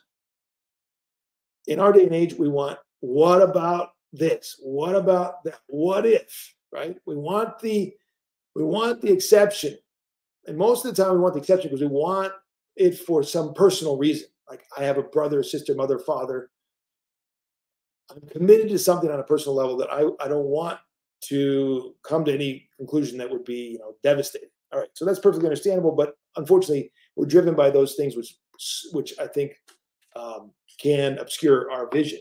So uh, the the one last thing you would add to that explanation would be some examples of the economy of salvation that is uh, not the exactitude and the akrivia that I just said. In other words, not been the economy of salvation has been handed down. I just described the economy of salvation. Christ throughout the ages, the continuation, of the incarnation, the church, and participation in his divine energies in the church. What about those who never heard of the church? What about those who never heard of Christ? What about the thief on the cross? he didn't he wasn't baptized he was maybe well people say he was baptized in his blood well not really because he was a sinful man and he was getting what came to him but in any case he was in paradise with christ so what is that that's the economy of salvation also but it's it's can be understood as a like a detour that ends up again on the main road so to speak it's a it's it's the truth of the, the following in action that God is not under his own commandments. He's not beholden or limited by his own commandments. Pretty obvious, right? God gives the commandments. God gives us the commandments, which are absolute for us. He says, This is how you're going to be saved, baptized. This is how you're going to be, you know, go throughout the world preaching baptism. Whoever does not accept it is damned. I mean, it's very clear. The Lord says, and yet and yet he himself is not bound by it. And so he can do whatever he likes. And he does whatever he likes. And so the ultimate answer is Is there salvation outside the church? Well, there's no salvation outside the church because the church is Christ and there's no salvation outside of Christ. But can God and Christ do whatever he likes outside of the revealed economy of salvation and the mystery of the theanthropic body of Christ? Yes, he certainly can. It's not been revealed to us what and how he's going to do it, but he certainly can. And that's as far as we go. So you want to be saved, you come to Christ. And coming to Christ means coming to the church. Everything else, in ectu poniru, as it says, is from the enemy, right? Yes, my yes is yes and no and no. All the rest is from the enemy, right? That's what we need to avoid. We're coming here, we're asking. It's like it's like the, the lawyer coming at trick trick questions of Christ. I'm not saying you're doing this, Daniel. I'm saying people do this. We got to avoid it, right? Oh, oh, you know. And he says, Why you call me good? There's only one who's good. Because look, you're not asking this question. You're coming, you're trying to get an answer out of me, right? That's what a lot of people are doing with this question. It's clear what he wants. Become a disciple, be baptized, crucify your intellect, become a disciple, be obedient. That's how you're saved.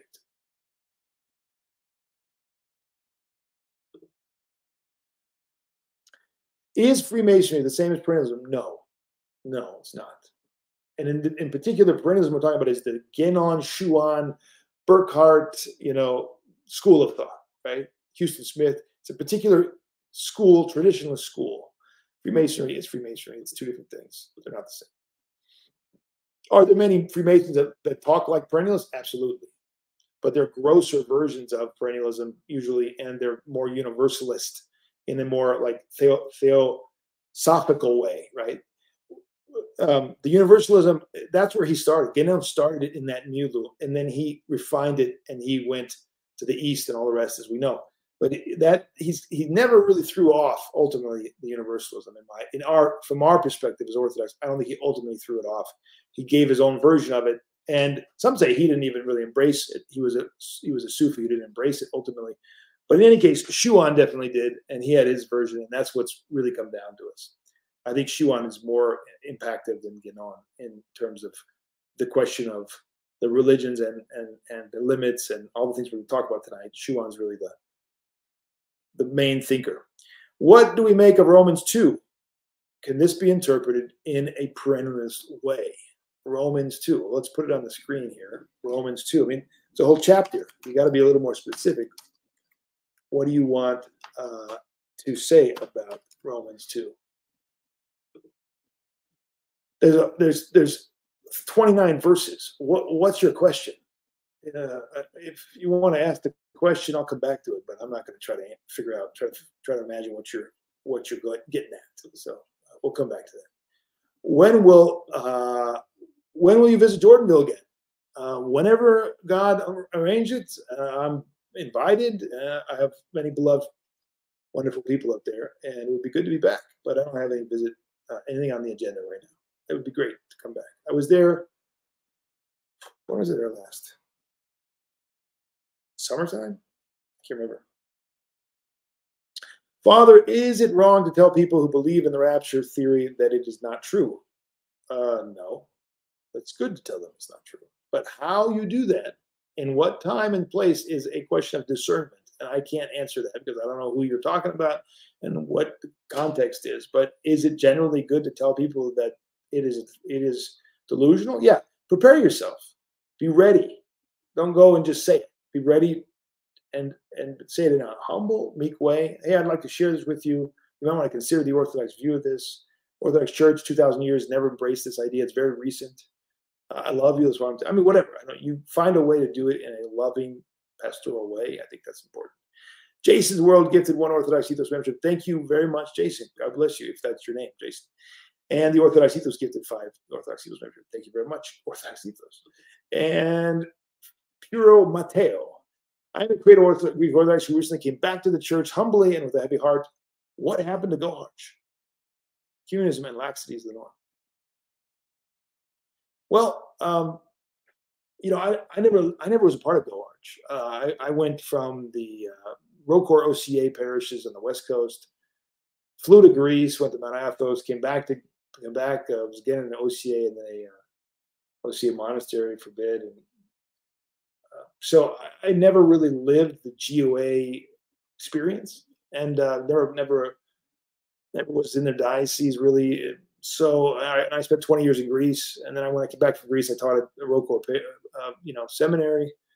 So I don't, I can't speak as one of GOARCH to tell you what happened. Um, I can just speculate from outside, and I would say that you know what's happening all around the world is happening to GOARCH, and that is the sickness of secularization, which is the spirit of Antichrist. It's the putting the church, uh, looking at that as a part of the world, uh, making it into the world uh, on all the different levels. That's the sickness that's everywhere. It's not just in GOARCH, it's all over the place.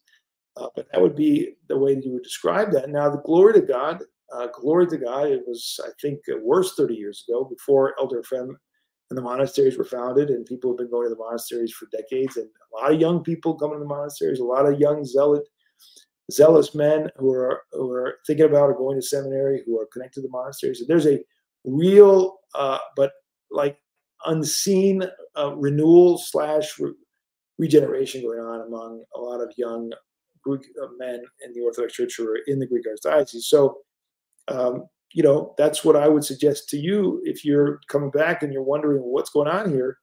Uh, go to a monastery, talk to the elders and fathers and sisters or whatever, and, uh, and uh, you'll uh, you'll you'll see, uh, and you'll be assisted greatly. And there are many wonderful priests and pious priests in the Greek Archdiocese, but there is notably a gross secularization in many places, and it's very tragic. Uh, the leadership, going back decades, from the founder of the Greek Archdiocese, who was a Mason and a total ecumenist and a, one of the greatest heretics in the history of the church, Meletios Metaxakis, introduced, introduced all kinds of innovation. And uh, of course, as a Mason, uh, you know, pretty well well recognized, uh, even in the Orthodox Church as a Mason, you know, a great grave heresy, grave delusion. He was the founder of the Greek Archdiocese. Uh, Athenagoras, also a grave, uh, gravely deluded and heretical teacher, Mason uh, and and introduced so many innovations and, and heretical ideas about Catholicism. He was a major influence in regards to Isaac. So, so that didn't help. there was there have been pious uh, bishops and priests uh, throughout the, uh, the, the hundred years, hundred plus years of the Greek Archdiocese. Archbishop Michael back in the fifties was a pious man, uh, and and many others. So, um, you know, I I tend to not think about the church in jurisdictional terms. We're all one body of Christ. All of them are just organizational divisions. There's one church. Christ is given and gives in every mystery in every parish, and we're all united in Christ. And so, um, you know, it's parts of the one body, and some places uh, are more affected than others, but uh, we're all together. In contemplation, can you find God everywhere? As taught by Thomas Merton, Alan Watts in Behold the Spirit. So that is a very uh, kind of Gnostic way of looking at things. We don't talk about that. Like, can you be, you are not your brain. You are not a theoretical, a theory. You're not a thought. You're your body and soul. How do you find God? In time and space. That's where you are. You're in time and space and you find God in time and space. And thank God he came into time and space and he dwelt and he dwells and he's present in time and space. And you commune with him and you unite yourself to him, not just in thought, but in word and deed, in body and soul. And he became flesh and he offered his flesh to you because that's the only way you could truly have communion with him is in the flesh in the flesh that you walk in and, and is part of you, the body that is, and in his body and his blood. So you find God and know God as incarnate in the body, in the body of Christ, in the church, in the flesh. That's how you're going to come to know him. That's how that's that's how he is. You, we shall see him as he is. We have experienced of him in the body of Christ as he is. That is Christ incarnate, the Logos exarx again, as I said. So this idea that we're going to find him contemplating him uh, is problematic, I think. I mean, can you see him in creation? Absolutely. Can you see him in, in, in the image of God in your fellow man? Absolutely. Is that what you mean? Can you see him? Can you see his si- signs of his presence? Can you see? Yes, but that's not yet communion with him as he desires to us to have total communion with him you can see his handiwork. You can see his his presence. You can see him in the scriptures, in the Old Testament, and in many ways, but that's not enough. Just to acknowledge him. The demons acknowledge him. The demons see and acknowledge that he is God, he is Lord. They're not saved. They're not in communion. It's not enough.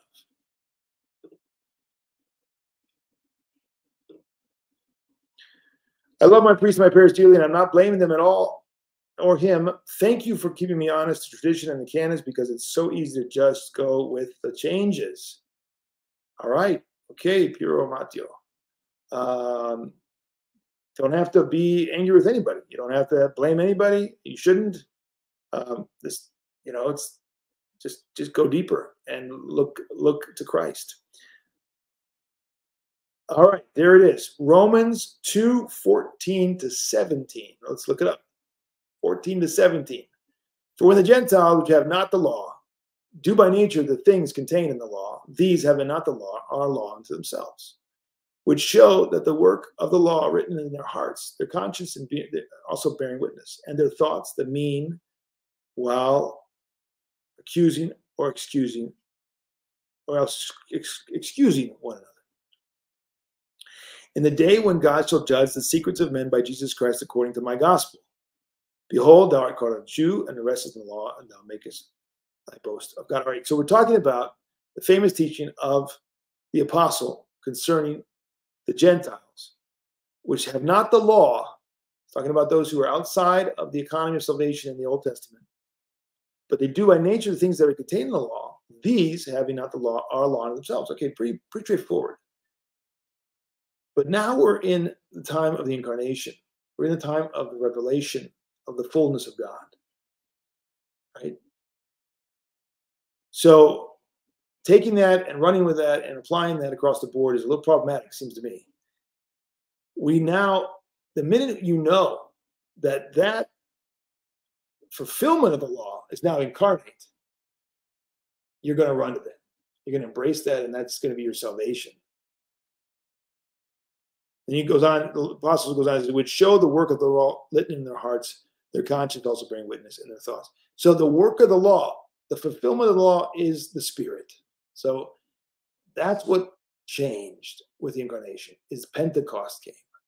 And we commune with him in the spirit. It's God himself. And it's not simply keeping the law. So I don't know how you, this can become now like a su- supplant the fullness of the gospel and simply and, and suffice for an answer for salvation of the world. I don't see how, I think it's not sufficient. Uh, we are simply going to see here that the Lord has his criteria as it says. God shall judge the secrets of men by Jesus Christ, according to my gospel. All right. So God shall judge. Absolutely.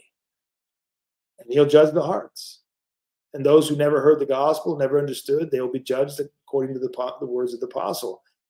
But salvation has been revealed. Salvation has been given. Salvation is Christ, and Christ is known in the in the mysteries, and the mysteries of the church. So, if you want salvation, you run to the church. That's all. Everything else, again, as I said earlier, all the rest, I feel, is an attempt to be a little like the lawyer, you know, as opposed to coming like the apostles or the repentant, you know, woman with the issue of blood or the Samaritan woman or whatever. These are the examples we have.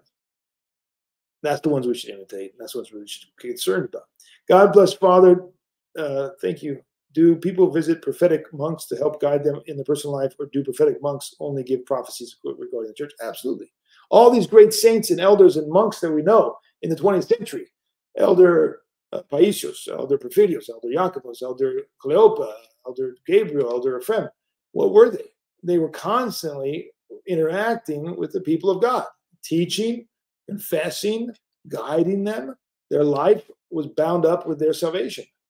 Run to the monasteries. In the end times, they will be the places of salvation that will be keeping the faith. That's very clear. Can we argue that we need God and God does not need us? Well, that's certainly true. I mean, he's not in need of anything, right? Not just us. But what do you mean by need? Absolutely, we need God. But does he not need us? What do you mean need? That's the question. And we have the free choice and will and choice to have a relationship with him or not. Yes, absolutely, of course. Everything he does is for us. We have need of everything. He is there's no necessity upon God, if that's what you mean. I'm not sure what you're he loves us. I mean, in that sense, he, in a way you could say he needs us because he loves us, but not in the sense of some kind of necessity upon him. Uh, we see the ancestors of Adam always have, he died. We see the ancestors of Adam always have, he died at the end.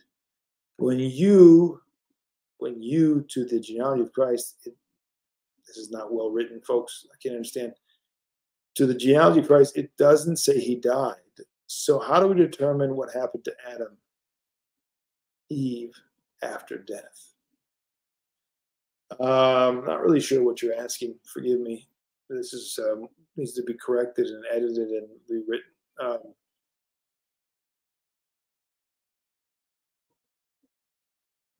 how do we determine what happened to Adam?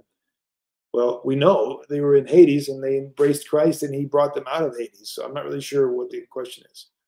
Yeah. All right. One more question. We are going on two hours and 30 minutes.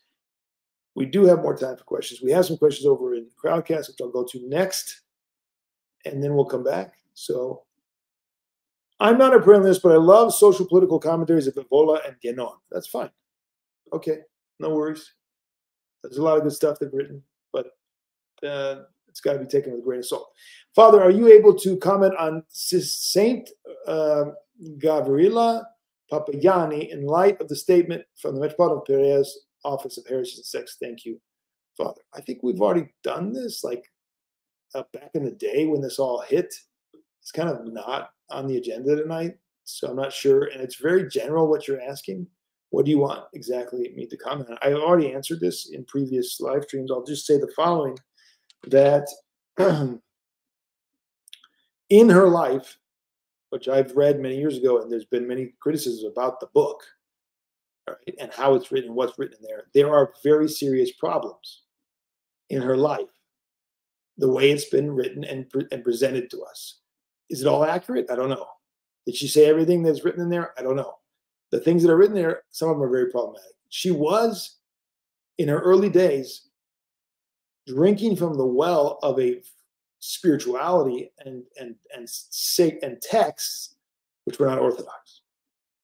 She was heavily influenced by, if I remember correctly, the Imitation of Christ by Thomas à Kempis, which was not not not that rare in those days in Greece because of uh, a lot of Westernization, and Latinization. And that influenced her. And she went in India and she did things in India that are beyond the pale. Now, having said all that, and why that why they're right in their criticism.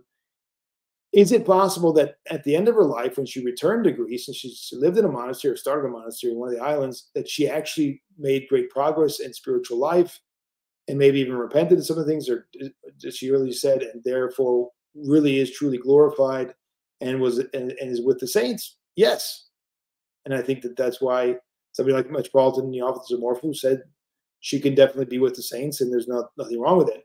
None of that implies or should imply that the errors of her earlier life and the ideas presented in the book are orthodox. So it's one of these cases that we reject those things which are inconsistent with orthodoxy. We embrace the person like we do with Blessed Augustine. He has teachings that are clearly not consistent with patristic teaching, that are innovations or speculation and things like that. And we didn't adopt them. We have never adopted those views, some of those views, right? So we embrace the person, we reject some of the errors. Same with this this particular nun coming from Greece. Uh, but my concern is that those errors will be adopted and promoted by those in the church today who are ecumenists and are looking for a saint to support their ecumenism. And that's why it's problematic. It, that's that's what's possibly problematic is they're going to run with that and they're going to point to these early times of her life and say, look, she did X, Y, Z. Therefore, this is a blessed thing to do. And that's it's easily refutable because it's not consistent with all the saints and all the tradition. And so that's not pro, it's not for our imitation. Um, and i think that's where the criticism comes and it's it's it's a necessary corrective.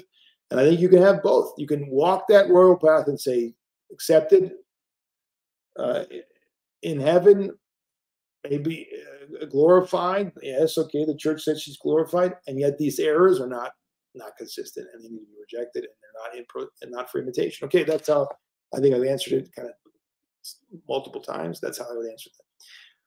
Father, forgive me for this. Please forgive me because it's not directly related to the topic. Can you get your blessing to translate the book on the reception of heterodox into French? Oh, yeah, we talked about this, Daniel. I think I responded to you. Uh, maybe you didn't see my response.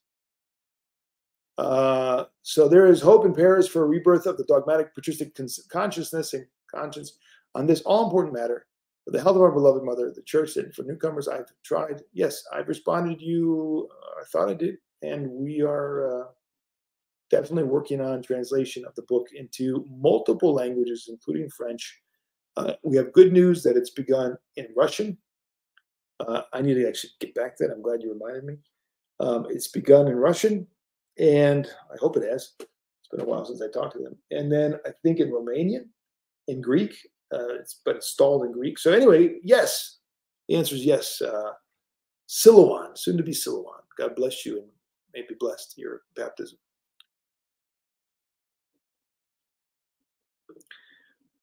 Have you seen Father Seraphim's commentary on Rene? Yes, I have. And it's not very extensive. It's in his life, and uh, and he points out the limitations of perennialism in the life. I think it's like page 600 or something in the large thousand page life. Yeah, I don't, I don't have it here, but Father Peter, is it true that the Antichrist will be a Jew? Is this an established view in our tradition, or is this just theologumena? I've stated, stated many times in our lectures on the book of Revelation uh, that the tradition coming down to us, the interpretation of the fathers, including St. Andrew of Caesarea and Elder uh, Athanasius, is that indeed he will be from the tribe of, of Dan. And there's reasons why they say that, and there's reasons in the Old Testament, and the prophecies are based on that. You can look at uh, the relevant passions, a, a, passage in Revelation where we comment on this in the in our long uh, 65 or 70 now uh, sessions on the Revelation and why the fathers believe that he will be from the tribe. Yeah. Now, will he be therefore a leader of the Jewish people today? Will he be, you know, I don't know. I don't know. I don't think that necessarily follows. But it's also said that he will definitely be favored by the Jews of the day of the, the time of Antichrist, that he will rebuild the temple for them and he'll be hailed as the Messiah for them. So that's pretty standard. Uh, there will also be many Jews who will embrace Christ, as we know in the scriptures. They will come back and there will be a remnant that will embrace, Christ. And it's already happening. It's already happening. I, we have no, a number of Jews uh, that I know personally who are recent converts to Orthodoxy, and they've embraced the Messiah of the world and their own Messiah of the Jewish people and glory be to Jesus Christ for that. What is your, the Orthodox perspective on the soul's creation? When two people get together to give birth, the soul is then created, then is created, is now needs saving. Why then have babies if most won't be saved? I'm going to not answer that tonight because it's just beyond the pale and it's too. But I'll jot that down. I'll ask my coworkers to jot it down, and we'll address it in the future. It's a pretty involved but you know, if we open these questions up and they're just all over the map, and then I just answer piecemeal, it's not good. So I'd rather not answer something piecemeal. It's a big, it's a big, good and important topic with which deserves a good and extensive answer. Um, yeah. No. The the answer is no. the question is: Is the rapture biblical? We've answered this multiple times. That rapture is not biblical it is delusional. And it's a very recent doctrine.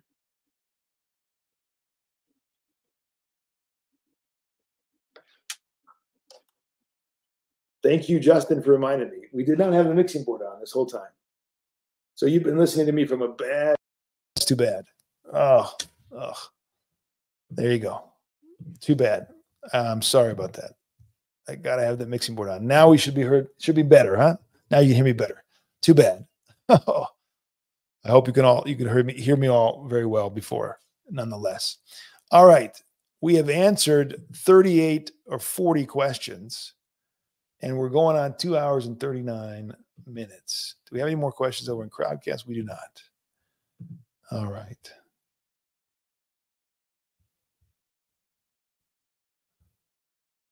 All right, folks. What about tomorrow night. Tomorrow night we'll be back for another uh, lesson in the mystery of Christ. Another lesson in the mystery of Christ. Bradley says that sounds incredible. yeah, too bad I didn't have that on the whole lecture. That was one of one of the most important lectures I think I've ever given. I think it is. I think it's a really important topic, and I didn't have the mic on. That's too bad. Uh, it wasn't too bad before. That's good.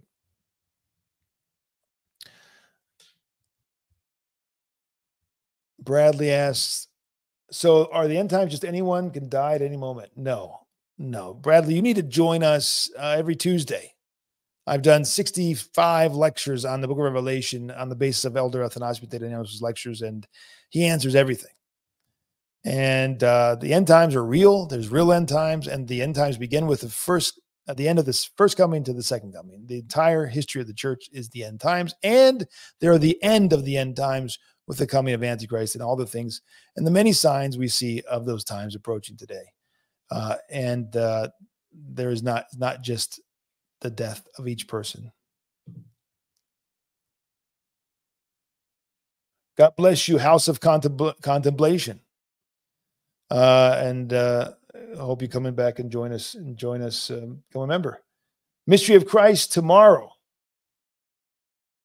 Mystery of Christ tomorrow. Let me put it on the screen, everybody who wants to be a part of the, this wonderful catechism coming from Mount Athos, right there. The Mystery of Christ. Let me get that off screen. Uh, Athonite Catechism, ready to go tomorrow night, 5 p.m. Pacific, 8 p.m. Uh, Eastern Time. And we're going to be looking at, let me give you the full table of contents for tomorrow night. One second.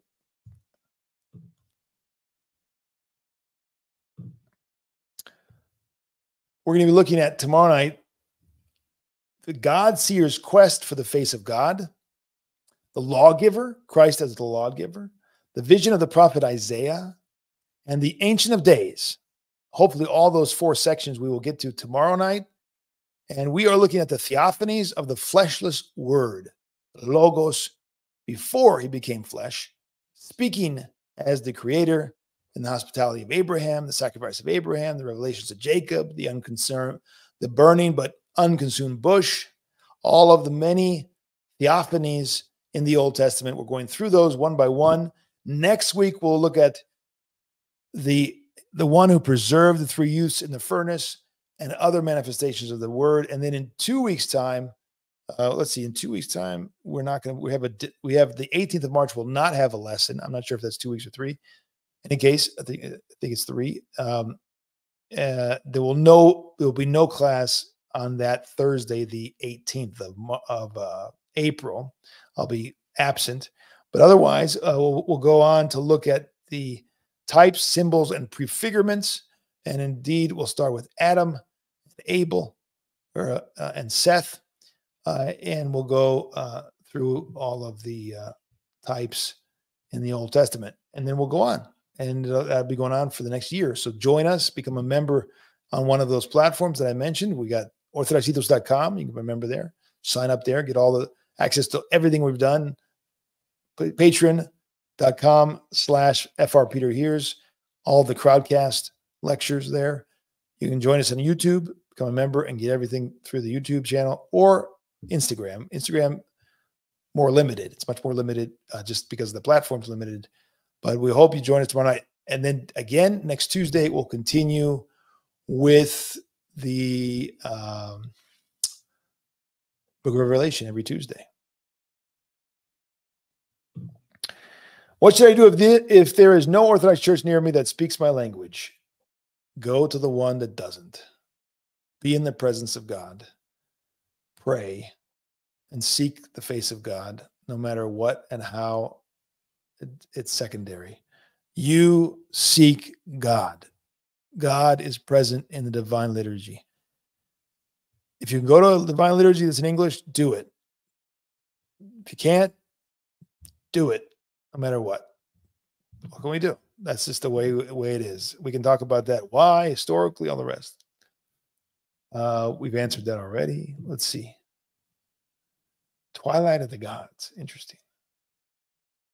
I believe more and more that the good God is the God of the New Testament. But I know that if I reject the Old Testament, I will enter heresy. In short, how should I position myself regarding this? You should join us on every Thursday and look at the good God, the one and only God, the God, the Logos, the fleshless logos appearing and working and teaching throughout the Old Testament and get rid of this idea there's a bad God and a good God in the scriptures. There's only one God. Join us every Thursday and go back and watch the first six or whatever it is we've done and then keep coming because it'll disabuse you of that ancient heresy. The idea that there's some other God in the Old Testament. That is a heresy that's been rejected in the Gnostic heresy, the old of the old uh, old world. Let's see.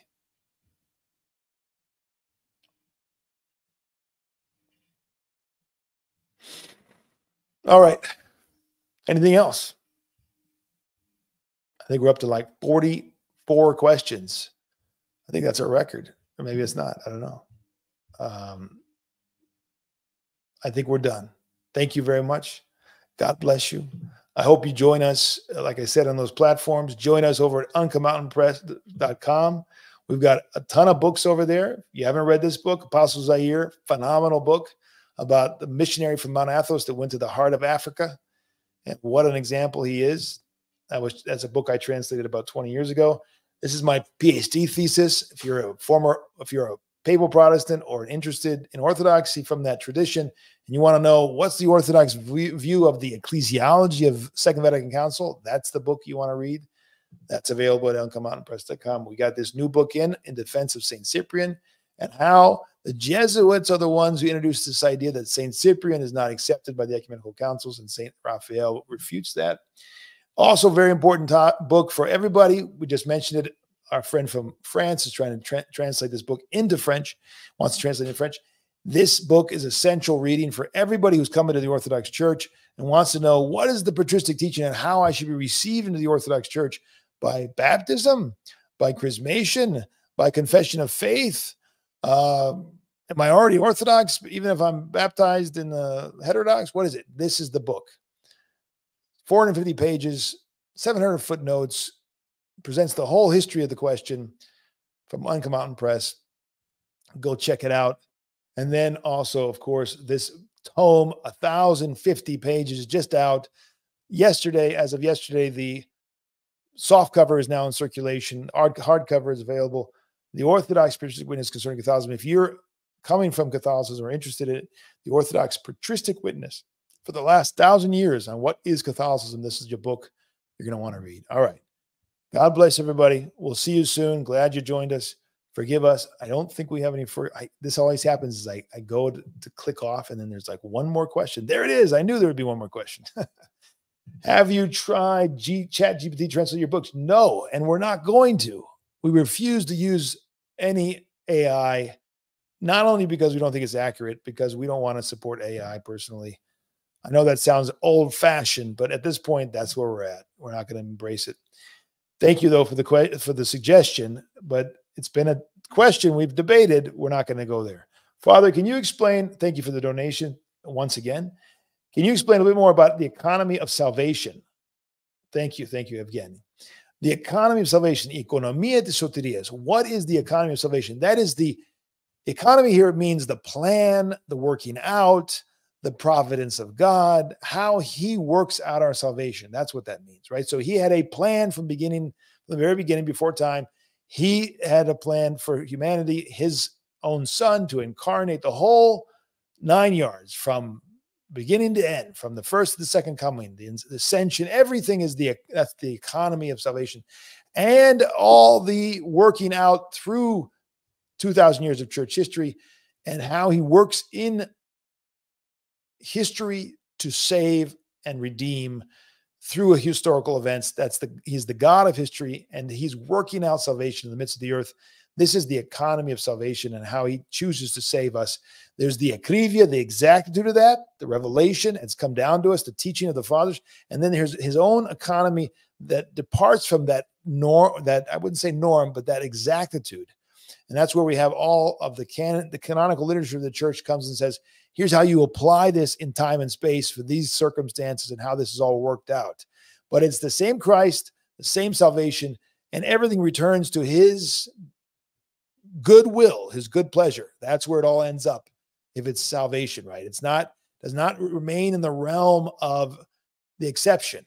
Exception is not the norm. It doesn't. We don't go there. We don't be, make it the norm. Like chrismation can never be the norm. It can never be the standard. It can never be the the the way things are done. Right in terms of reception, for instance, it's an ex, it's an exception. It's it's a it's a departure from the akrivia, the exactitude as which which God laid down for us.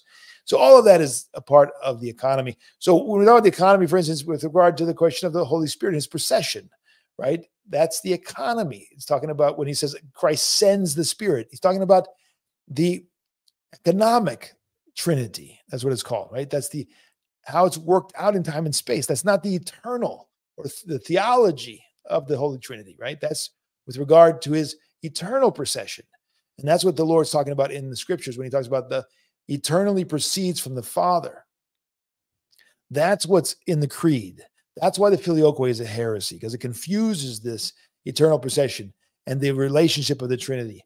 And it, it identifies the economy and theology or the economic Trinity. In other words, the sending of the Spirit in time and space with the eternal manifest uh, uh, relationships of the Holy Trinity. Right now, I'm getting off topic, but giving you an idea of what we're talking about economy, we're talking about how it's worked out, how it's revealed uh, in time and space for our salvation.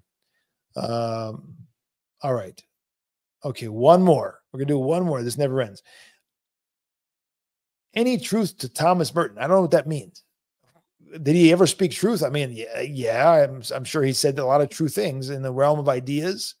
Uh, but what are you what are you asking exactly? Are you asking is he a true teacher, representative of the truth of the gospel and of the fathers? No.